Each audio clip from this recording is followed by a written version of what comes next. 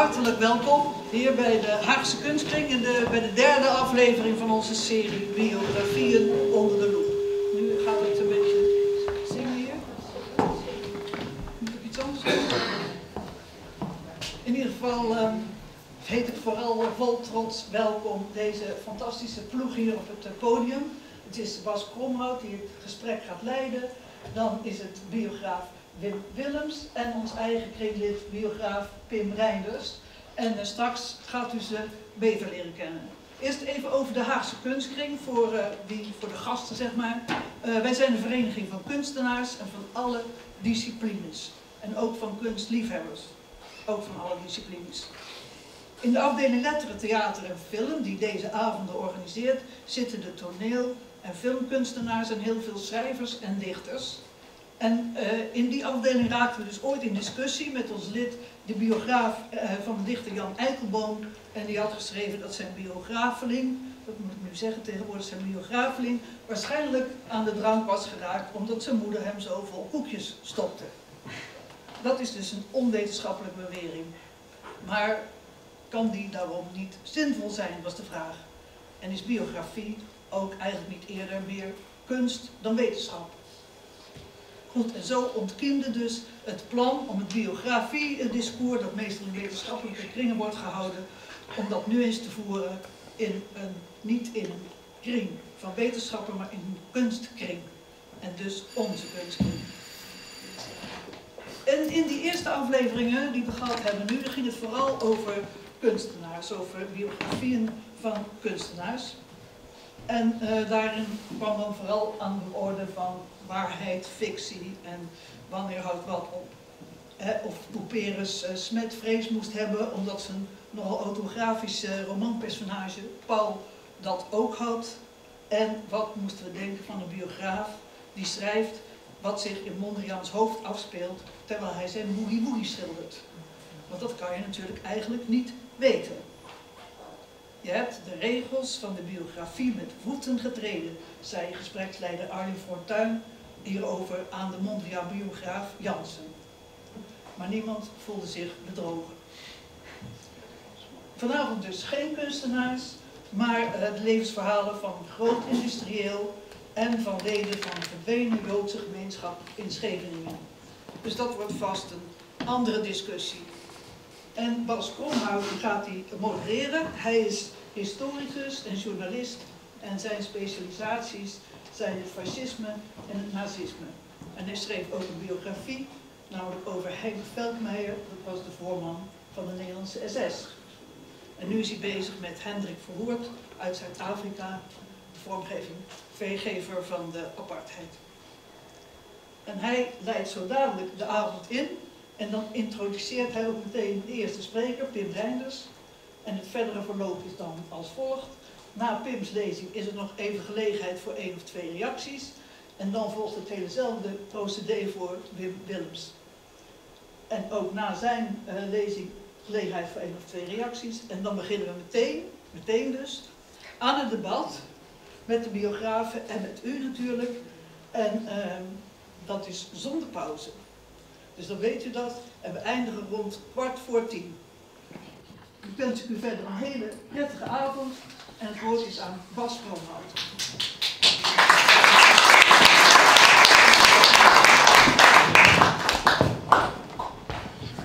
Kan ik dat, ja, dat kan ik vanaf deze plek doen, dus ik hoef niet uh, te gaan lopen.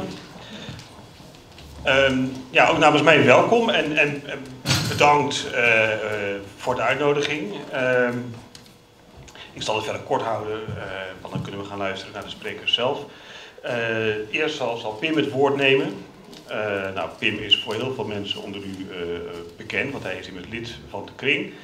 Uh, hij is ook degene die samen met Ellen het programma rond biografieën heeft opgezet. En heel slim heeft hij natuurlijk zichzelf ook in dat programma geschreven. Zeer terecht. Um, ja, het idee is dat we het vandaag niet alleen gaan hebben over, over de precieze inhoud van die, van die boeken en van de mensen die daarin, uh, wiens levens daarin beschreven zijn, maar dat we hebben over de biografie als, als genre. Uh, kunst of wetenschap, dat is natuurlijk al een mooie aanzet. Um, We kunnen ook zeggen, is het kunst of literatuur? Nou, daar kunnen we straks over gaan hebben. Ehm, Pim die ehm, heeft ja, een achtergrond als schrijver van boeken over reclame en affichekunst onder andere over waterbeheer en opdracht van de overheid, uh, neem ik aan.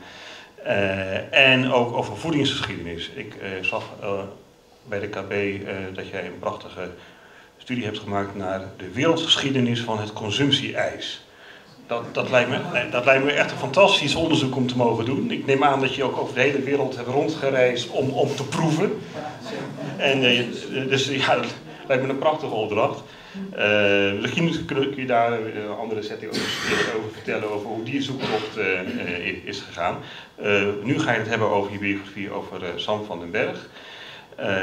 industrieel, een van de, van de mensen die aan de wieg hebben gestaan van, van het Unilever-concern. Um, en ja, ik zou je graag willen vragen om naar het katheder te lopen en het woord te nemen.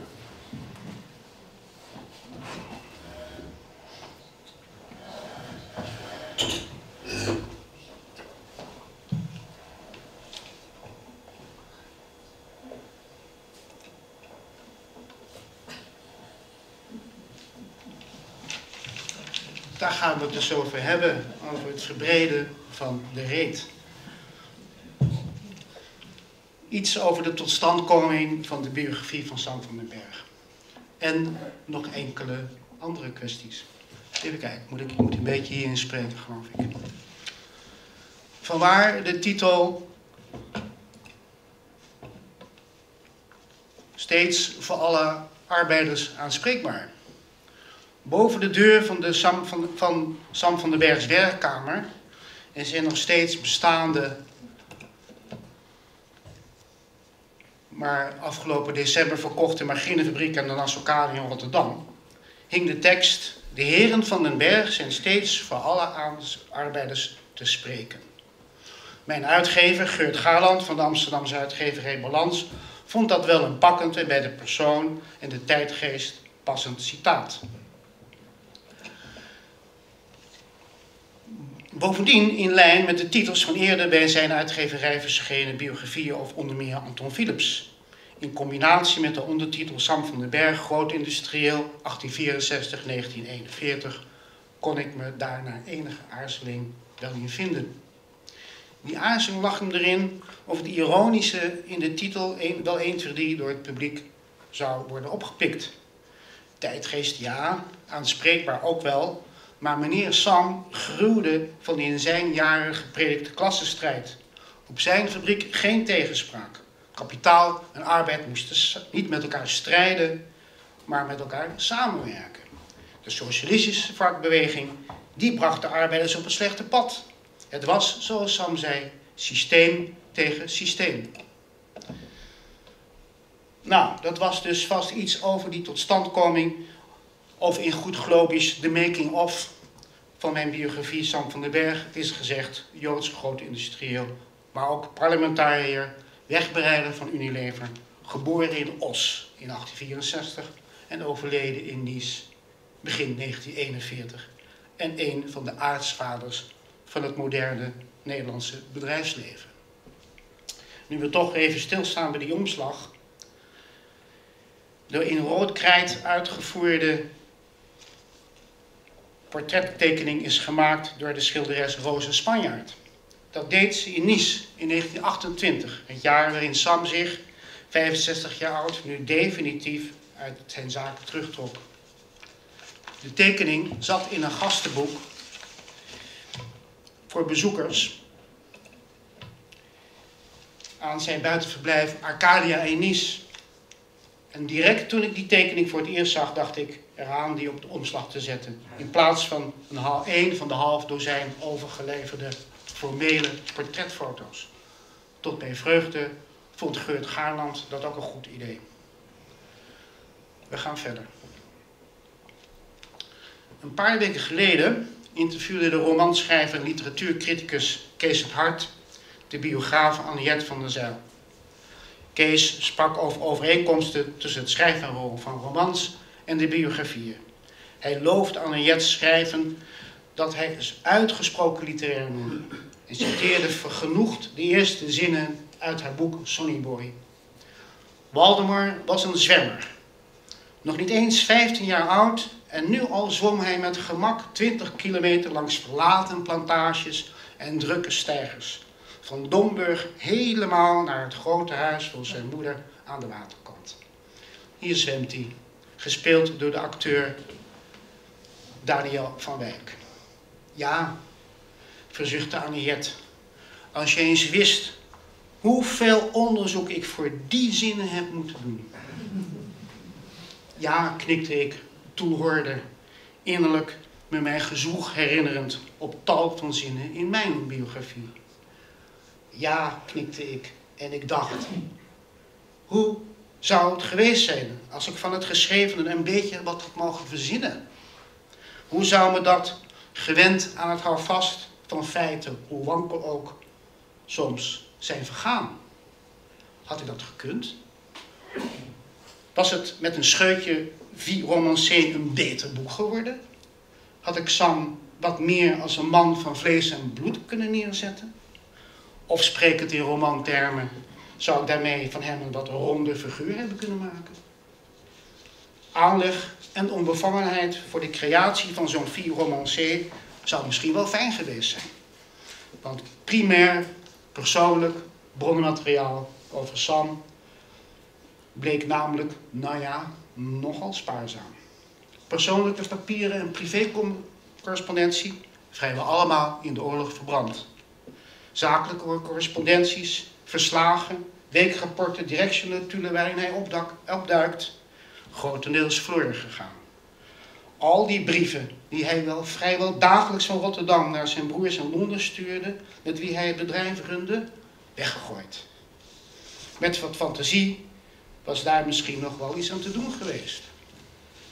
Johan Huizinga, wel eens getypeerd als de pilaarheilige van historisch Nederland, zou, zou hoofdschuddend er een streep door Voor hem was romancé geen geschiedschrijving, al worstelde hij er wel mee. Ik kom daar straks nog over te spreken. Gelukkig, even de volgende, oh, even terug.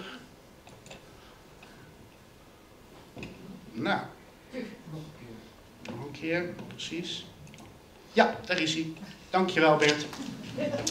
Gelukkig vond ik in andere primaire bronnen waarmee ik veel van Sams leven voor het voetlicht heb kunnen brengen. Jullie zien hier een paar voorbeelden. Over het gastboek van Arcadia hebben we het even gehad. 152 bladen met namen en foto's van zo'n 200 gasten, familie niet meegerekend, die tussen 1928 en 1941 Sam en zijn vrouw Betsy in hun Franse buitenblijf bezochten. Een ware Wunschgrabe. En ja, natuurlijk ga je dan al die namen zo mogelijk nazoeken. Dacht je te achterhalen waarom ze daar waren en wat hun relatie met Sam was geweest. En dan was er dus die waaier aan de andere bronnen. Aanzichtkaarten die Betsy, maar ook hun chauffeur tijdens hun reizen, jaar in jaar uit, met grote regelmaat naar familie thuis stuurde. Menukaarten, programma's van feestelijkheden, verkoop- en verkoopakten, bouwtekeningen, kadaster- en bevolkingsregisters, affiches, schilderijen, drukwerken, gedenkboekjes, vergunningen, briefhoofd, dagboekjes, correspondenties, besluiten van gemeentes, geboorte, huwelijk- en overlijdensacties, volkstellingen, adressen, stratenboeken, grafstenen, standbeelden, jaarverslagen, gedenkpenningen, verslagen van de Rotterdamse gemeenteraad, handelingen van de Eerste en de Tweede Kamer, passagierslijsten en natuurlijk berichten, interviews, verslagen en beschouwingen in binnen- en buitenlandse kranten, periodieken, week- en vakbladen. Of beeldbronnen zoals deze politieke cartoon van Albert Haan uit januari 1907, ten tijde dat Sam in de Tweede Kamer zat. Het verhaal van de reconstructie over de achtergrond van deze print, ja, dat is een lezing op zichzelf. Heel belangrijk startdocument is geweest voor deze biografie een korte levensschets, waarvan hier de eerste pagina. In 1942 opgetekend door zijn vrouw Betsy, een jaar na zijn dood. dat typoscript van 70 pagina's, die heb ik natuurlijk woord voor woord, zin voor zin, naam voor naam binnenste buiten gekeerd. Dat document bood tal van aanknopingspunten. Er was tegelijkertijd een duivelspuzzel en een valkuil. Bijvoorbeeld alleen al door de onvolledig of foutief gespelde namen. En dan, ja, dan zijn er natuurlijk die stambomen. Basis voor elke biografie, vrijwel elke biografie. Toen ik in augustus 2013 begon met de voorbereidingen van mijn boek, bestond er al een database met ruim 1900 familienamen. Onmisbaar gereedschap voor de beantwoording van de vraag wie is wie in de familie. Plus tal van genealogie, genealogie sites in binnen- en buitenland met wel risico op fouten. Immers, je steunt niet op het oorspronkelijk materiaal. Maar met deducerend en combinerend kritisch speurwerk in deze sites, gekoppeld met familieberichten in gedigitaliseerde kranten of in documenten, zoals aanwezig in het Centraal Bureau voor Genealogie hier in Den Haag, ben ik vaak meer gewaar geworden over al die personen die ik tijdens mijn onderzoek tegenkwam. Het bleek ook een vruchtbare methode om nakomelingen van personeelsleden te traceren. En die kwamen dan soms weer, als ik ze eindelijk had opgespoord, in heel het land, nieuwe informatie en documenten aanzetten. Ja, en dan foto's. Van Sam, van familie, van bekenden, van huizen, van hotels, fabrieken enzovoorts. Dit is een collage van foto's van Sam met het laatste hier in het parlement. Veel foto's. Maar wie zien we hier? Rechts oudst bekende beeld van Sam. En links zijn broer Henry. In het midden hun toen nog verloofdes Betsy Willing en Charlotte Spanjaard gefotografeerd in Londen in 1887. En natuurlijk wil je dan alles over die foto en omstandigheden proberen te achterhalen. En hier kruipt Sam tijdens een wandeling met zijn kleindochter Els in de duinen van Wassenaar onder het prikkeldraad door. En zien we onbedoeld van een heel andere kant de inmiddels gepensioneerde fabrieksdirecteur. Maar nog wel senator van den Berg. Maar ja, wie fotografeert hem hier zo out of the box? En wie scharen zich in dit filmfragment als een bewegend groepsportret om Sam en Betsy? Een fragment uit augustus 1917 van een familiefilmpje vervaardigd ter gelegenheid van hun 30-jarig huwelijk.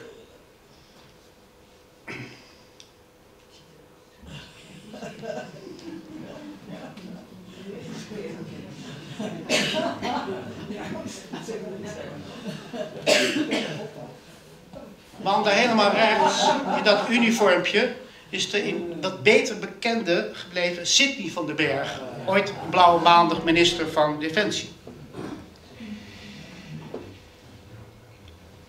Antwoorden op deze en andere vragen kreeg ik dankzij het geheugen van achterkleinkinderen, waarvan er gelukkig nog een aantal in leven zijn.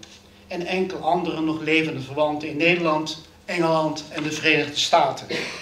Mijn gesprekken met hen waren natuurlijk ook belangrijke, al was het niet echt primaire bronnen. Ik begon met de oudste bij hen.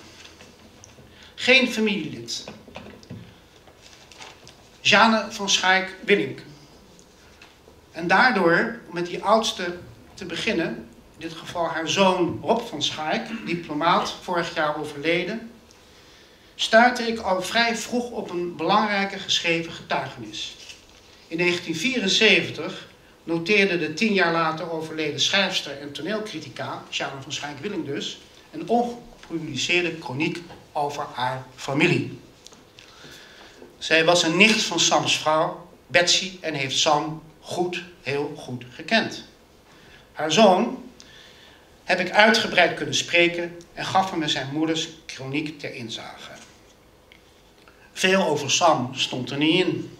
Maar het beetje wat er wel over hem in stond, was direct ook raak. Jeanne roemde Sams, ik citeer, veelzijdigheid als fabrikant, politicus, cultuurbevorderaar, mecenas, afgezien van zijn kwaliteit als echtgenoot, vader en grootvader. Zo had ik plots een visie op mijn hoofdpersoon in handen, afkomstig van iemand die hem goed had gekend. En ik koos het tot leidraad voor een nader, open, maar kritisch onderzoek. In de proloog van mijn boek, inderdaad als eerste en niet zoals vaak gebeurt achteraf geschreven, vermeldde ik dat ik Jeans observatie het palet was dat ik tot leven wilde brengen. Met die beslissing, zo las ik pas nadat ik mijn boek had voltooid, had ik misschien onopzettelijk voldaan aan de eisen die sommige historici en biografen stellen. Dat ze een visie op hun hoofdpersoon moeten hebben. Of die moeten ontwikkelen, of dan tenminste later moeten hebben. Ook moeten uh, verwerven. Een ander richtsnoer vormde een uitspraak van Sam in een interview over de samenwerking met zijn vier broers, vier van zijn zes broers, met wie hij samen het Margine-imperium leidde. En die ik de Margine-broers doopte. Hun levens waren nauw verstrengeld. Met ons vijven, zei Sam tijdens een terugblik in 1934 tegen de journalist en schrijver Marie-Joseph Brusse, vooral bekend van Boefje, hebben wij, in, hebben wij in de overtuiging te moeten slagen er al onze energie en krachten op gezet. De concurrenten zeiden dan, daar kunnen wij niet tegenop, omdat de Van den Bergen het altijd samen eens zijn. Inderdaad, zegt Sam, daar zorgden we wel voor. Zo gauw wij met onze plannen en besluiten naar buiten kwamen. Dus familiaire solidariteit als sleutel tot succes. Niet alleen de broers runden het bedrijf, ook hun kinderen, schoonzoons en verre verwanten bezetten leidende posities. In het persoonsregister van het boek Persoonsnaamregister staan een kleine honderd verwanten. En zo werd deze biografie in een aantal opzichten ook familiegeschiedenis. Ja, en dan, na die familieleden, zijn er ook de niet-familieleden. In het register van die persoonsnamen zijn dat er zo'n 730. Namen van bekende en onbekendere figuren die een kleine of grotere rol in Sams leven speelden. Met hen allen heb ik me moeten verstaan. Waar kwamen ze vandaan? Wat deden ze in Sams leven? Wat voor invloed hadden ze op hem? Ter illustratie noem ik nu een paar van de thans nog wat bekendere figuren. Misschien weet u al wie dit is. Een enkeling knikt, maar het is volgens mij Joop Visser als hij dat zegt. Dat, is dus, nou, dat komt van het Centraal Bureau, uh, uh, Instituut voor uh, Bedrijfsgeschiedenis in Rotterdam, dus die moet het wel weten. Want dit is Anton Jurgens. Goed, dus zo bekend is mijn keuze nou ook weer niet. Maar goed, hij was wel, net zoals Sam, margine in, fabrikant in, in Os, ook groot industrieel, zijn grote concurrent en tegenspeler en tevens de andere wegbereider van Unilever in Nederland. Maar goed, we hebben ook ondernemers als Anton Philips, Daniel George van Beuningen, Philippus van, Ommeren, de politici Oud, Troelstra, Colijn, Goema Bogesius, maar ook figuren als Alette Jacobs, Ida Gerhard, Louis Davids, Charlotte Salomon en Menno Braak. In hun geval, dus van deze figuren, kon ik kritisch te raden gaan bij over hen soms nog maar kort geleden verschenen biografieën. Voor de meeste van die andere pakweg 700 personen was dat niet zo. Ja, en dan moest ik me natuurlijk verdiepen in alles drang van de margarine-industrie. Beginnend met de uitvinding van die margarine in 1869 in Parijs. Vervolgd door de pionierschool vanaf 1871 door Van den Berg. Eerst met een fabriek in Os en daarna in Rotterdam, Brussel en Kleef. Ten slotte is de ontwikkeling van dit miljoenenbedrijf, bij wijze van spreken, het oeuvre van Sam. Het hart van het oeuvre zelfs. Maar wat is margine eigenlijk precies? Hoe hebben ze dat geflikt bij die begine, met, met die beginnenbroers om zo succesvol te zijn? Hoe werden ze dat en hoe bleven ze het ook wereldwijd? Ex-equo met Jurgens, de nummer 1 in deze nieuwe industrie die aan duizenden meer mensen werk verschafte en miljoenen aan eetbaar en goedkoop vet hielp. Wat leverde dat succes op? Maar ook, wat was de tegenslag? Wie was, wat waren de verliezen? Hoe zat het met de chemie, de techniek, de wetgeving, de concurrentie enzovoort? Dat betekende onder meer het bestuderen van eerdere studies, de, hier, de daarin aangehaalde bronnen nazoeken, nieuwe bronnen aanboren en zo stukje bij beetje het tamelijk verouderde geschiedbeeld enigszins bijstellen, verdiepen. Kortom, de bedrijfsgeschiedenis verknopen met Sams leven en omgekeerd. Van macro naar micro. En weer terug. Zoom in, zoom uit, zoom uit, zoom in. En de lens verplaatsen, andere zienswijzen ontwikkelen. In zekere zin gold deze benadering ook voor de Nederlandse parlementaire en politieke geschiedenis uit die tijd. Sam zat ruim 20 jaar voor die liberalen in het parlement. Hier is die. Hier maar rechtsboven die. Oh, daar is hij. Ja, rechtsboven die. En Colijn in het midden. Of links, links in het midden. Ja, tal van aspecten ook van de geschiedenis van de Nederlandse jodendom in Sams tijd. Het sionisme in Nederland. Zijn reis naar Palestina. Het Palestina-opbouwfonds. Het direct na de Duitse verkiezing van maart 1933 mede door SAM opgerichte Comité voor Bijzondere Joodse Belangen, dat zich vooral inzette voor hulp aan Joodse vluchtelingen in Hitler-Duitsland, uit Hitler-Duitsland. Ter illustratie noem ik in dit verband twee van de vele vragen waarop ik een antwoord heb trachten te vinden. 1. Hoe en waarom werd Sam verkozen tot vertegenwoordiger van de Joodse gemeenschap in Nederland in dat in 1929 opgerichte Internationale Jewish Agency for Palestine? Zeg maar een soort uh, parlement van het internationale Jodendom. En waarom vertelde, vermeldde Adolf Eichmann hem tijdens een toespraak in Berlijn in november 1937 tot SD-functionarissen. Ja, en dan was er natuurlijk nog de door van Schaik genoemde rol van mecenas. De diverse inmiddels verdwenen caritatieve instellingen die Sam meebestuurde. Wat was daar nog over te vinden? In Renkum trof ik een archiefje van het voormalige sanatorium van Oranje Nassau ooit.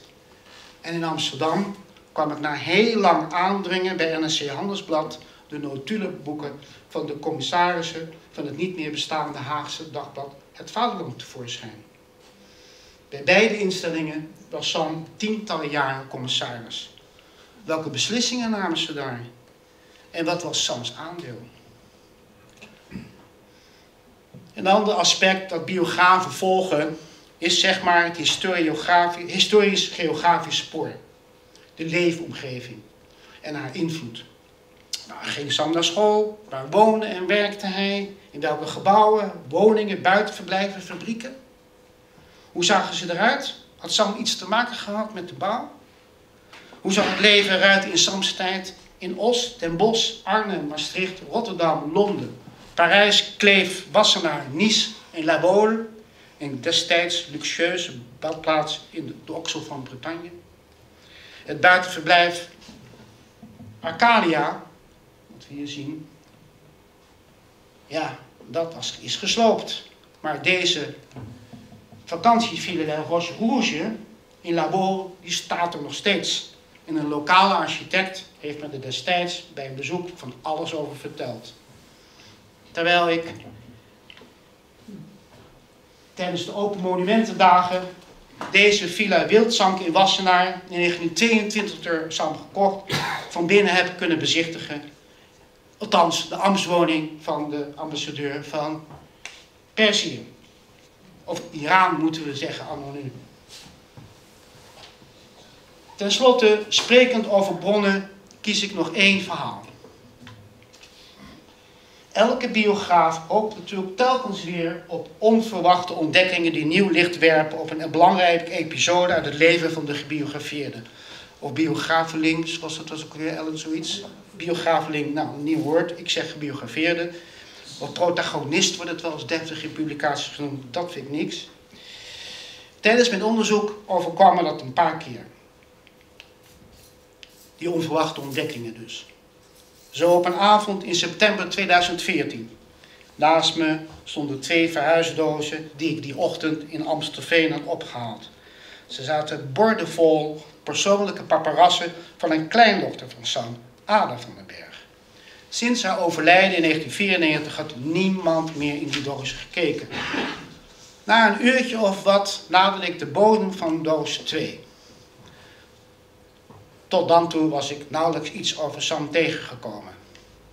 Toen, toen er plots een vaalgroen schriftje met een spiraal en enkele seconden later had ik een dagboekje in handen dat Ada had bijgehouden in de dagen voor en tijdens haar vlucht in juni 1940 vanuit Nice naar de havenplaats Bayonne bij Biarritz. Dat is dus daar. Dit laat de opmars van de Duitse legers zien. Die dacht dat ze er zes maanden over deden, maar het was maar zes weken. En hier was Nice. Enfin. Nu had ik dus. Um, even kijken, was ik gebleven? Van, en da, vandaar per schip naar Porto, uit, naar Porto in Portugal.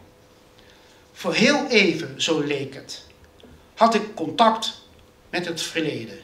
Het is alsof je een brief van je lang geleden overleden oma of vader in handen hebt. Je zit als het ware met je bewustzijn voor een ogenblik niet in het nu, maar in de geschiedenis zelf. In elk geval bezorgde die avond Ada's woorden een gevoel van nabijheid en ook van meer begrijpen in de zin van verstaan. Huizinga, daar is hij weer, repte in 1936 in een soort gelijkverband van een aanraking, een ontroering. Niet te vormen met die beroemde uitspraak, de historische sensatie. Dit is een ander citaat. Die ontroering, die aanraking. Uit andere getuigenissen wist ik dat Sam en Betsy de vlucht via Bayonne hadden opgezet met, met, het doel, met dat doel waren ze dus uit Nice met familieleden in twee auto's naar Bayonne gereden. Maar om onduidelijke reden was niet het hele gezelschap aan boord van het schip gegaan. De meesten waren teruggekeerd naar Nice. Nu had ik een persoonlijk vluchtrelaas in handen met de precieze data, de naam van het schip, waarvan ik later een foto vond, de Milena. Maar bovenal werd ik de reden gewaar waarom Sam Comsie niet aan boord waren gestapt. Ze hadden geen visum voor Porto weten te bemachtigen. Bovendien zag schip, Sam dat schip helemaal niet zitten. Met zo'n rotboot ga ik niet weg, riep hij, zo schrijft Ada, die wel zo'n fel begeerd visum had. Enfin, ik ga jullie niet het hele, veel complexere verhaal van die vlucht vertellen. Dat is ook weer een lezing op zichzelf. Het ging me hier om het ontdekken. Goed. Nu is nog iets anders. Biograaf Hans Renders, directeur van het in 2004 opgerichte Biografie-instituut van de Universiteit van Groningen, ijvert sindsdien voor theorie en methode van het schrijven van biografieën.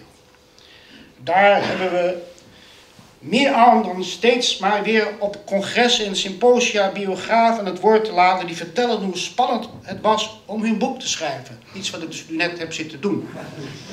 Schreef hij inmiddels alweer tien jaar geleden. Maar ja, we zijn hier niet op een wetenschappelijk congres van historici. Maar toch, Ellen zei het al, de kunstgring heeft het programma aangekondigd met de boodschap, de discussie. Even een papiertje omslaan over het genre eens nu buiten de muren van vakpers en wetenschap te willen brengen. Romanschrijver Simon Vesteg, hier op wat oudere leeftijd, overigens ook auteur van tal van prachtige historische romans, schreef eens in een essay over historici, dat eens was in 1952, De historicus houdt zich te veel met de feiten bezig en te weinig met de mogelijkheden. Het gedachte-experiment zit hem niet in het bloed, al dus. Inderdaad, dacht ik toen ik dat las. Mijn scholing als journalist ooit en later als historicus was vooral gericht op het kritisch verzamelen en interpreteren van feiten. En nee, mogelijkheden tot afwijken van die feiten, die behoren doorgaans niet zo gauw tot, tot de horizon van de historicus. Of toch wel? Want de feitenverzameling uit al die bronnen die ik de revue heb laten passeren, diende voor het samenstellen van een zo betrouwbaar mogelijk en goed leesbaar verhaal. En daarmee begint het haast, zou ik zeggen. Het echte werk, het werkelijke zweten, het complexe. Na al die documenten, bronnen en publicaties te hebben bestudeerd en overdacht, moet er geschreven worden. Voldoende verzameld, denk je, je hebt het overzicht, de lijnen, de illustrerende anekdotes, de verklaringen. Je gaat aan de slag met behulp van al je schrijfervaringen van eerdere boeken en journalistiek werk. Opnieuw op zoek naar een goede balans tussen inhoud en stijl. Zin voor zin, de stukjes schikken, in elkaar passen, kiezen, verschuiven, herschikken, opbreken, overdenken. Of ze een tijdje laten liggen en zo nu en dan ook het resultaat hardop lezen. Maar dat is hem. Vestijg betoogt dit niet zo, maar zo interpreteer ik. Al die feiten die je hebt gevonden bieden namelijk meer mogelijkheden dan alleen ze te smeden tot een betrouwbaar en boeiend relaas. Met inzet van fantasie en inbeelding kunnen de tot dan toe verzamelde feiten waarvan je dacht dat het genoeg was voor je paragraaf of hoofdstuk, je naar andere nieuwe feiten, andere verbanden en inzichten sturen. Het brengt je naar nieuwe, zinvolle vragen, waarvan de antwoorden je kunnen leiden naar een nauwkeuriger, naar een waarachtiger, afgewogener en soms rijker verhaal. Dat leidt overigens lang niet altijd tot toevoegingen, maar ook tot schrappen. Anders gezegd, inbeelding leidt tot betere uitbeelding, mits natuurlijk er bronnen zijn. Daar heb je ze weer.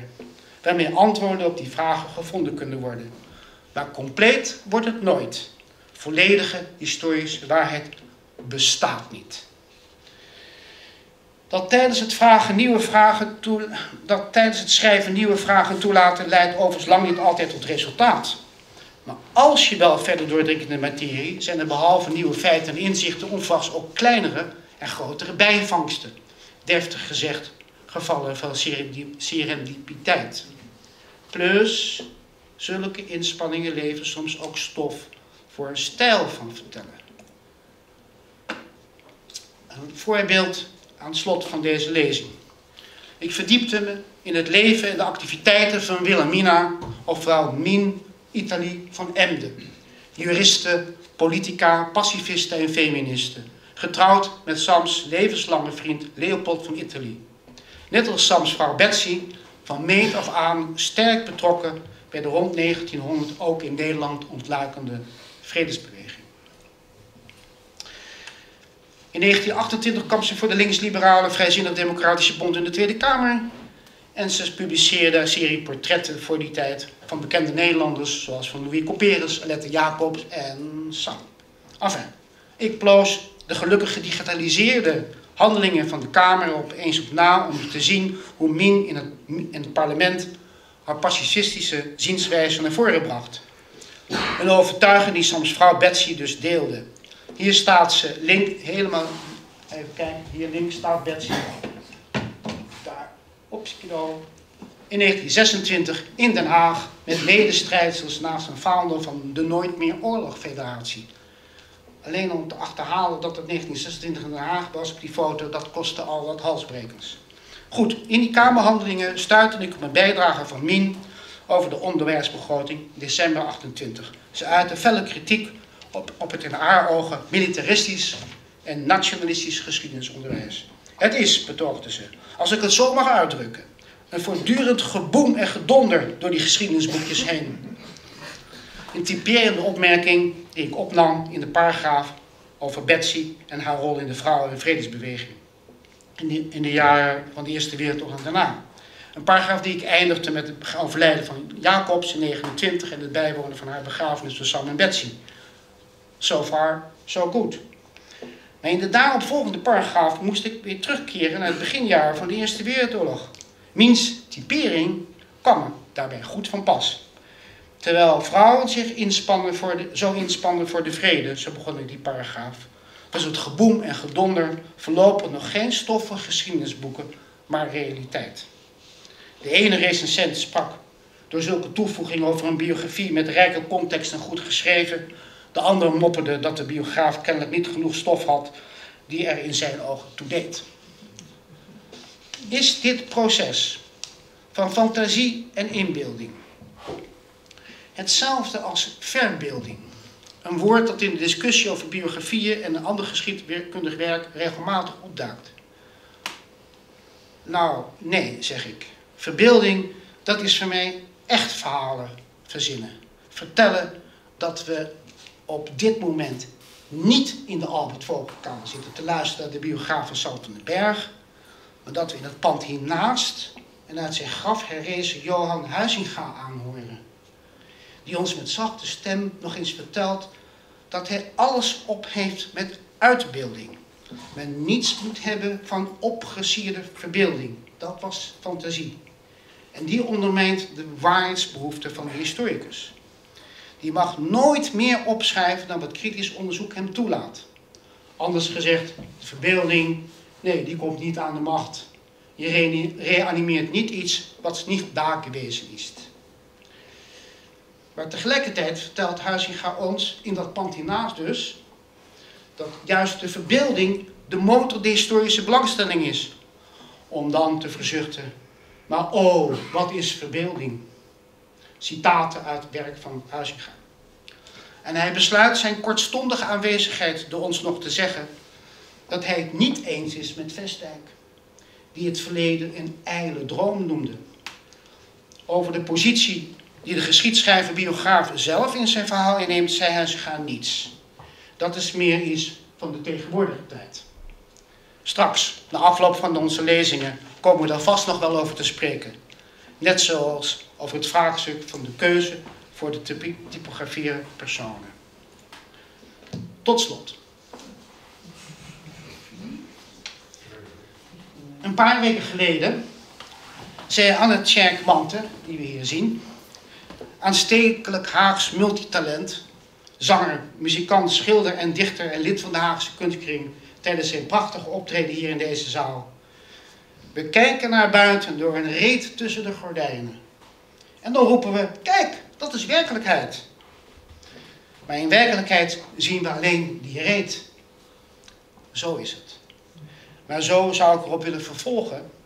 Verbreed de reet.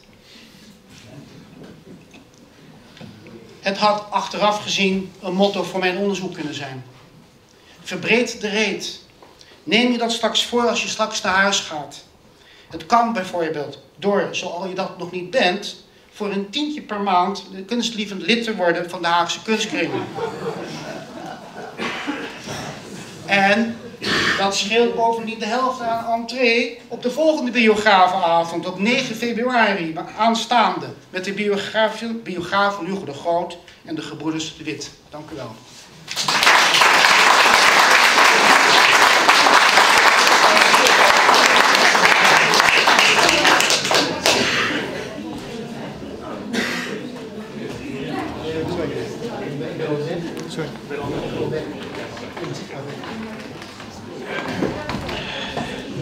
Dankjewel uh, Pim voor, uh, voor je verhaal met vele aanknopingspunten voor de discussie van straks. Uh, maar voordat we daaraan gaan beginnen, hebben we nog een tweede spreker die ik mag introduceren. Dat is eh, Wim Willems.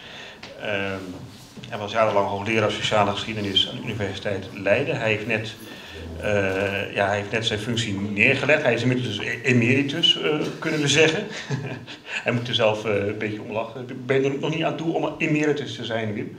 Nee, het staat wel op de website. Het staat wel op de website, dus, dus dan is het zo. Hè, de feiten spreken. Wim is ook een ervaren biograaf.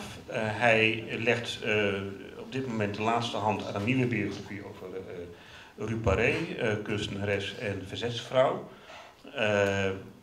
Dat gaat dit jaar verschijnen. ook schreef hij de biografie van, van Charlie Robinson. Ehm, maar hij is voor deze avond gevraagd om iets te vertellen over een boek dat twee jaar geleden verscheen. Het boek heet Hier woonden wij. En het gaat over de, de, Joodse gemeenschap in Scheveningen, zoals die daar was aan de vooravond van, van, van, van de Tweede Wereldoorlog. En ja, we zullen het dus ook even over hebben in hoeverre dat boek een, een biografie is. Um, Um, maar ik zou nu graag het woord geven aan Wim. Oh, en als ik toch ook nog even reclame mag maken. Wim die schrijft ook biografische portretten in uh, het tijdschrift Haagse Historie, waar ik zelf hoofdredacteur uh, van ben. Uh, daar zijn we ontzettend blij mee dat hij dat doet, want eh, hij brengt dus allerlei minder bekende, maar niet even belangrijke Haagse levens weer ja, tot leven, zullen we maar zeggen. Wim, ga je gang. Dankjewel. Ik eerst mijn PowerPoint tevoorschijn toveren.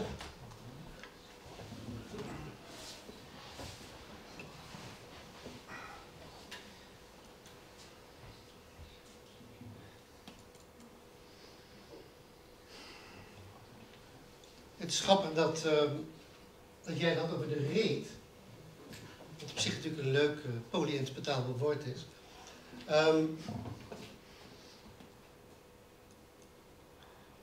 dat deed mij denken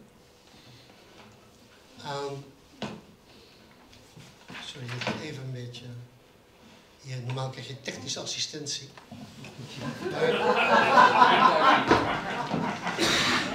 Even kijken, vanaf het begin.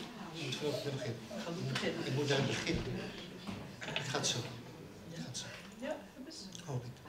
Ja. U ziet. Ja.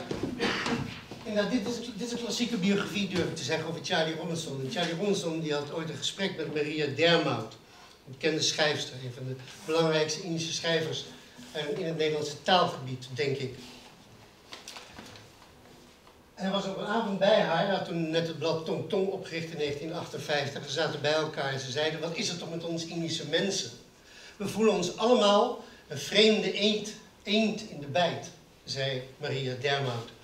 En toen zei Charlie Robinson, weet je wat de oplossing is? De oplossing is dat de bijt groter moet worden. Als je de bijt van die samenleving groter wordt, dan passen er veel meer mensen in. Dat vond ik een mooie. Maar ja, kijk, het liefst had ik natuurlijk gesproken over het boek dat op 25 april aanstaande uitkomt. Iedereen maakt die reclame voor zichzelf, dus laat ik dat ook doen. Verzet in het schilderkist. Uh, in eerste plaats omdat deze vrouw 52 Joodse kinderen tijdens de oorlog heeft gered, maar ook omdat zij lid was van de Haagse kunstkring. En als vrouw voor de oorlog een zeer actief lid van deze, van deze kring. Wat toch echt in die tijd, het zal tegenwoordig anders zijn, een, uh, een mannenbolwerk was. Maar er was mij gevraagd om te hebben over hier wonen wij. En ik heb het maar genoemd biografie van een Joodse straat. Omdat het dat ook was een Joodse straat, ooit. Of de biografie is dit boek, dat waag ik te betwijfelen. Maar we kunnen het erover hebben. Uh, iedereen zal voorbij lopen, denk ik, aan dit, dit, dit pand op de Harstoekweg. De Harstoekweg in Scheveningen, redelijk dicht bij het Koerhuis. Het pand er woont nu een kunstenaar, maar ooit was dit een synagoge. Het was een Oost-Europese synagoge. Um, achter die synagoge, achter de geschiedenis van dat ene pand alleen, ligt een hele rijke internationale Joodse geschiedenis.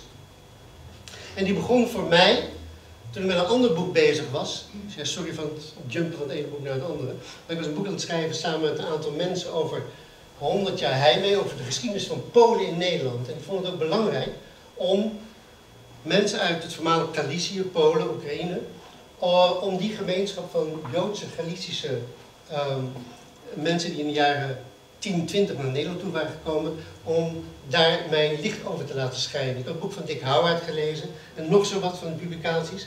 Maar ik realiseerde me ineens, er is erg weinig bekend over de Joodse gemeenschap in dat deel van Den Haag. Nauwelijks over geschreven. Toen maakte Corrie Glaudemans van het Haags gemeentearchief mij in die tijd attent op een vondst in 2003 in de kelder van de Harstookweg. U ziet het hier. Dit materiaal heeft zij verzameld met een stofkapje op, in acht dozen gestopt. Uh, en toen met dat hoofdstuk bezig was voor dat boek, heb ik die acht dozen doorgenomen en geconstateerd dat daar papieren in zaten van drie families. Neem even water. De families Boutelje, Hausman en Bassan. De familie Boutelje was een Nederlands-Joodse familie. En de familie, families uh, en Bassan kwamen beide uit het voormalig Galicië en waren in de jaren 10, 20 naar Nederland toegekomen. Um, die drie families en die vondst bleven altijd in mijn achterhoofd hangen. Ik ben in mijn leven als hoogleraar van de geschiedenis van deze stad altijd om de Joodse geschiedenis heen gelopen. Ik ben geen expert op dat gebied. Enorm bang fouten te maken. Dat doe je al snel namelijk op dat gebied. Kijk, over India had ik al twintig jaar geschreven, dus ik durfde het aan om over Charlie Robinson te schrijven. Over het Joodse vond ik dat veel ingewikkelder. Maar die vondst, vond ik fascinerend. Zeer fascinerend. En toen ben ik op het Joodse Digitale Monument gaan kijken. Hoeveel Joodse families er sowieso op die Harstokweg wonen. En dat bleek er in 1940, 1941 53 te zijn. Dat wil zeggen 53 Joodse families, gezinnen of enkelingen, die door de Duitsers zijn weggevoerd. Soms in zijn geheel, soms voor een deel. Wie het hadden overleefd staat vaak ook op het Joodse Digitaal Monument, maar niet altijd. Als je het onderzoek voortzet, dan kom je erachter, via andere historische bronnen, seriële bronnen, dat er uiteindelijk 63 Joodse gezinnen op de Haarstokweg woonden. U moet zich voorstellen, 63 gezinnen op 179 adressen. Dus één op de drie adressen is ermee geconfronteerd dat, of die straat is ermee geconfronteerd dat één op de drie adressen een Joodse familie is weggevoerd in 1942. Die geschiedenis is weggevallen. Die is weggevallen voor een belangrijk deel door de evacuatie van Scheveningen, juist aan het eind van 42 en begin van 1943, waardoor dat, dat, dat wegrukken van het hart van die straat in feite is, is ja, achter, het, achter het gordijn is terechtgekomen van die grotere evacuatie. Niettemin, u ziet het hier uitgebeeld door de vormgevers van het boek, van zoveel huisjes zijn Joodse families uh, verdwenen en in het uh, zwarte gat van de Shoah opgegaan. ik dacht, daar, wil ik toch iets aan doen. Wat ik weet over die, over die vondsten van die, van die drie families en wat we in het Nationaal Archief, bij, bij rechtsherstel en andere bronnen, wat we over die drie families kunnen vinden, daar, daar wil ik toch het een en over vertellen. En ik organiseerde toen in 2013, en later ook in 2014, uh, de actie Open Joodse Huizen. Dat is een initiatief van het Joods Historisch Museum in Amsterdam. Die benaderde ons in 2013 om Den Haag ook zoiets wilde doen. En ik heb toen met een groep mensen, Rolf Nieholm, aan wie ik dit boek heb opgedragen, die jammer begin 2015 overleed, was mijn leermeester in de Joodse Scheveningen. Um, hij kwam met een aantal adressen door die stad heen. En dat hebben we uitgebreid tot tien adressen. En op die tien adressen hebben we mensen gevonden, of nazaten van de familie, of historici, journalisten, anderen geïnteresseerden die iets wisten over, dat, over, dat, over de Joodse familie die ooit in het huis had gewoond. Um, of mensen die nu in het huis wonen en die geïnteresseerd waren geraakt in de geschiedenis van het huis. En daarbij stuiten op de Joodse families die daar ooit hadden gewoond en veelal zijn weggevoerd. Wat ik zelf wist, heb ik verteld op de Huistukweg 111. Van 100, ja, 111. Huistukweg 111. Want de papieren van die drie families, dat, dat waren de adressen 111, 113 en 115. Hoe de, hoe de papieren van drie families in de ene kelder terecht zijn gekomen, weet ik tot de huidige dag niet. Ook niet na het onderzoek van 2,5 jaar dat ik samen met Hanneke Verbeek heb gedaan. Maar er gebeurde op die dag iets, iets, iets bijzonders. Uh, eigenlijk al vlak daarvoor. De word was spread dat wij daar een lezing zouden gaan houden over de families Barsam, Hausman en Boutel. Vlak daarvoor kreeg ik ineens, het gaat zo via social media, um, de kleindochter van de familie, de achterkleindochter van de familie die daar gewoond had, die benaderde mij.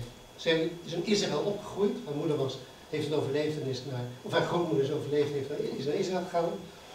Um, haar moeder kwam regelmatig naar Nederland omdat ze wilde weten wat er met de ouders was gebeurd, die zijn weggevoerd. En zij als, als, als, als kleindochter was meteen natuurlijk Barsam, dat is mijn familie, daar wil ik meer over weten. En, en, en ze nam contact met Hanneke en mij op. Ze kwam naar ons toe. En ze had foto's van de familie. Ze had ook foto's van haar grootmoeder. En ze vertelde dat haar moeder thuis in Jeruzalem ook een grote doos had die ze nooit heeft durven uitpakken. Waarin brieven zaten, documenten zaten, foto's en dergelijke. En haar moeder zelf, in het Ivriet natuurlijk opgegroeid, die kon het Nederlandse taal niet lezen, dus, dus wist ook niet waar die brieven over gingen. Um, Efratse Haffi heette zij. En zij kwam na die dag toe dat ik, dat ik daar het verhaal hield op, uh, op de. Maar niet alleen zij, haar moeder was ook overgekomen uit Jeruzalem om erbij te zijn en andere familieleden. We gingen de kelder in, want die kelder die ziet er, daar kun je duizend wijnvaten in kwijt, zo groot en zo hoog is die. Met hele mooie bakstenen, u ziet hier een, foto van. Um, en haar moeder is de vrouw hier, Lea Sahafi. En zij was diep geëmotioneerd. En ze had ook een gedicht geschreven, ze was eerder op dit adres geweest, ze had een gedicht geschreven over haar pelgrimage naar dit huis van haar, van haar, van haar, van haar moeder en haar grootouders. En dat gedicht heeft ze Ivriet geschreven, dat las ze daarvoor. En een nicht van haar had het in Nederlands vertaald, dus na twee strofes nam die nicht het over. En die, vertelde, die, die uh, declameerde dat gedicht in het, in het Nederlands. Dat op zich was al heel bijzonder en na afloop kwam ze naar mij toe. En in het Engels spraken wij over de foto's die zij zelf had. En ze zei, kijk deze, deze foto, die is met het Joods carnaval genomen in 1955. En een deel van mijn identiteit, meneer Willems, moet u zich realiseren, is Nederlands. Het is weliswaar in Israël opgegroeid, maar ze voelt dat een deel van de identiteit Hollands is. En hoe moet je Holland uitbeelden? Dat doe je natuurlijk door, uh, door jouzelf en je broertje in een soort, zou ik zeggen, Scheveningse dracht in ieder geval.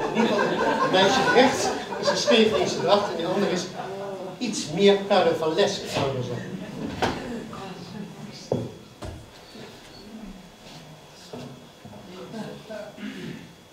De vrouw links is, uh, is haar moeder. Uh, en, en, dat is haar broer Selma. Die ook via Zwitserland gevlucht is en in Israël terechtgekomen is. Uh, op dat moment realiseer ik mij, daar begon de biografie van de straat. Ik dacht, als, je iets, als ik iets zou willen doen of kunnen doen aan, aan de Joodse geschiedenis van Scheveningen, dan moet ik die straat waar zoveel families zijn weggevoerd, daar moet ik me op focussen. U ziet hier een foto uit 1912. Er waren toen een aantal hotels, Schnitzler, Kel, Hotel Noordzee en, nog zo wat, waar er soms schuldiensten werden gehouden. Want je had natuurlijk veel uh, Joodse badgasten uit België en Duitsland die naar Scheveningen toe kwamen in het hoogseizoen. En daar moesten ook schuldiensten voor gehouden worden. Uh, daar werd ook koosje voedsel geserveerd, uiteraard. Uh, maar er veranderde iets er veranderde iets in 1914, merkte ik. Wat er veranderde is dat er in de Eerste Wereldoorlog Joden die in Antwerpen woonden en in Brussel woonden, Joden die in België woonden, zal ik maar zeggen, die uh, moesten het land ontvluchten. Het was heel moeilijk voor Joden die uit Galicië kwamen en die in België soms al 10 of 20 jaar als diamantwerkers aan het werk waren, om een paspoort te bemachtigen, om verblijfspapieren te bemachtigen. Dus in 1914 transformeerden zij ineens van gewenste vreemdelingen, die al in feite ingeburgerd waren in België, in ongewenste vreemdelingen, omdat ze behoorden tot het vijandige rijk van Oostenrijk-Hongarije. Dus op stel en sprong moesten duizenden Joodse families België verlaten. Veel diamantwerkers, die hun bezittingen achter moesten laten, maar toch natuurlijk probeerden om, om diamantjes in, zakjes en in, in, in de japonnen, in de, de naden van japonnen te, te, stoppen. En zo, zo kwam men naar Nederland toe. Want in Nederland was werk, er waren contacten, en met de valutebeurs in Rotterdam en met de diamantbeurs in Amsterdam. En die contacten konden ze te gelden maken. Waarom kwamen ze naar Scheveningen, heb ik me afgevraagd. Er zijn natuurlijk geen getuigenissen en niemand heeft in die tijd een interview gegeven en gezegd, ja, wij komen naar Scheveningen omdat. Amsterdam had meer van de hand gelegen, maar zoals ik wel kan afleiden uit indirecte getuigenissen. Amsterdam vond men polluted, vond men geen schone lucht hebben. Amsterdam was trouwens ook moeilijk om aan een woning te komen. Scheveningen daarentegen, sommigen waren al eerder in Scheveningen geweest tijdens het hoogseizoen. Hè, bekende badplaats in die tijd. zou je nu bijna niet meer zeggen, maar het was echt een internationaal georiënteerde, zeer chique badplaats. Daar ging je graag naartoe. Ehm, en door die Eerste Wereldoorlog, en doordat de mannen werden opgeroepen voor dienstplicht, en de badgassen uit Duitsland en België natuurlijk niet kwamen, omdat die in oorlog waren, België stond, of uh, Scheveningen, dat van Scheveningen waar ik het over heb, dat stond in feite leeg. Dus heel veel hotels, heel veel pensions, heel veel huuretages stonden leeg. Dus aan de aanbodkant was er genoeg, mensen konden daar naartoe komen. En was toch het idee, we verblijven hier een tijd tot de oorlog voorbij is. Dat, dat, dat is de insteek van, meest, van veel mensen natuurlijk. En als de oorlog voorbij is, keren we terug. Wat voor een deel van de mensen trouwens ook het geval was. En Hanneke en ik zijn toen gaan bekijken hoeveel Joodse families woonden er dan eigenlijk in 1914 of 1920 of in 1930. Dat kun je doen door woningkaarten te bekijken. Woningkaarten staat iedereen die ergens, uh, of elke, uh, naam van elke familie die in een bepaald pand gewoond heeft. Je kunt al die namen verzamelen. Nou, jij hebt krankzinnig veel werk verricht, maar dit was, dit was maar drie maanden werken, dus dat valt wel mee. Um, daar hebben we wel krachtig voor ingehuurd. Dus je gaat met woningkaarten, je hebt al die namen, je gaat met al die namen naar de gezinskaarten. En bij de gezinskaarten staat vermeld, met het Haagse gemeentearchief, al het kijken. De gezinskaarten staan trouwens op het, het net. Um, wie daar heeft ingevuld Nederlands-Israëlitisch. Dus die zichzelf beschouwen als Nederlands-Israëlitisch of als ze daarom werd gezien. Als je die namen had, kon je die in een database zetten. En zo kwamen we erachter dat in de periode 1914 tot 1940 en, ik moet altijd even nakijken, 450 Joodse families alleen op die Harsthoekweg. Dan heb ik dus niet over de Hasseltseweg, de Luikse straat, Antwerpse straat, etc. Alleen op deze ene straat 450 Joodse families hebben gewoond. Dat is bij elkaar niet minder dan 1400 personen, als je uitgaat van een vrij lage schatting van het aantal kinderen.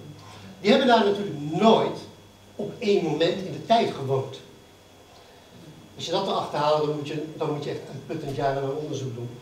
Maar door de tijd heen hebben daar zoveel Joodse families gewoond. Dus er heeft zich een, een, een enclave gevormd met een Joodse infrastructuur.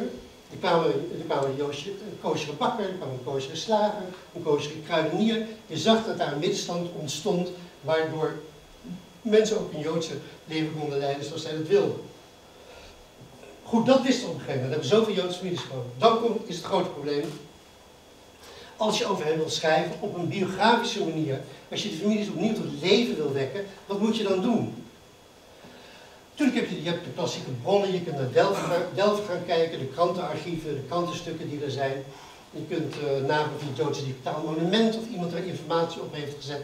Er zijn, er zijn klassieke manieren natuurlijk om aan informatie te komen, maar gelooft u mij, van de meeste mensen zoals ook de meeste van ons, er is na 50, 70 jaar weinig meer over te vinden. Niet op internet, niet in de archieven. Of je moet ongelooflijk geluk hebben.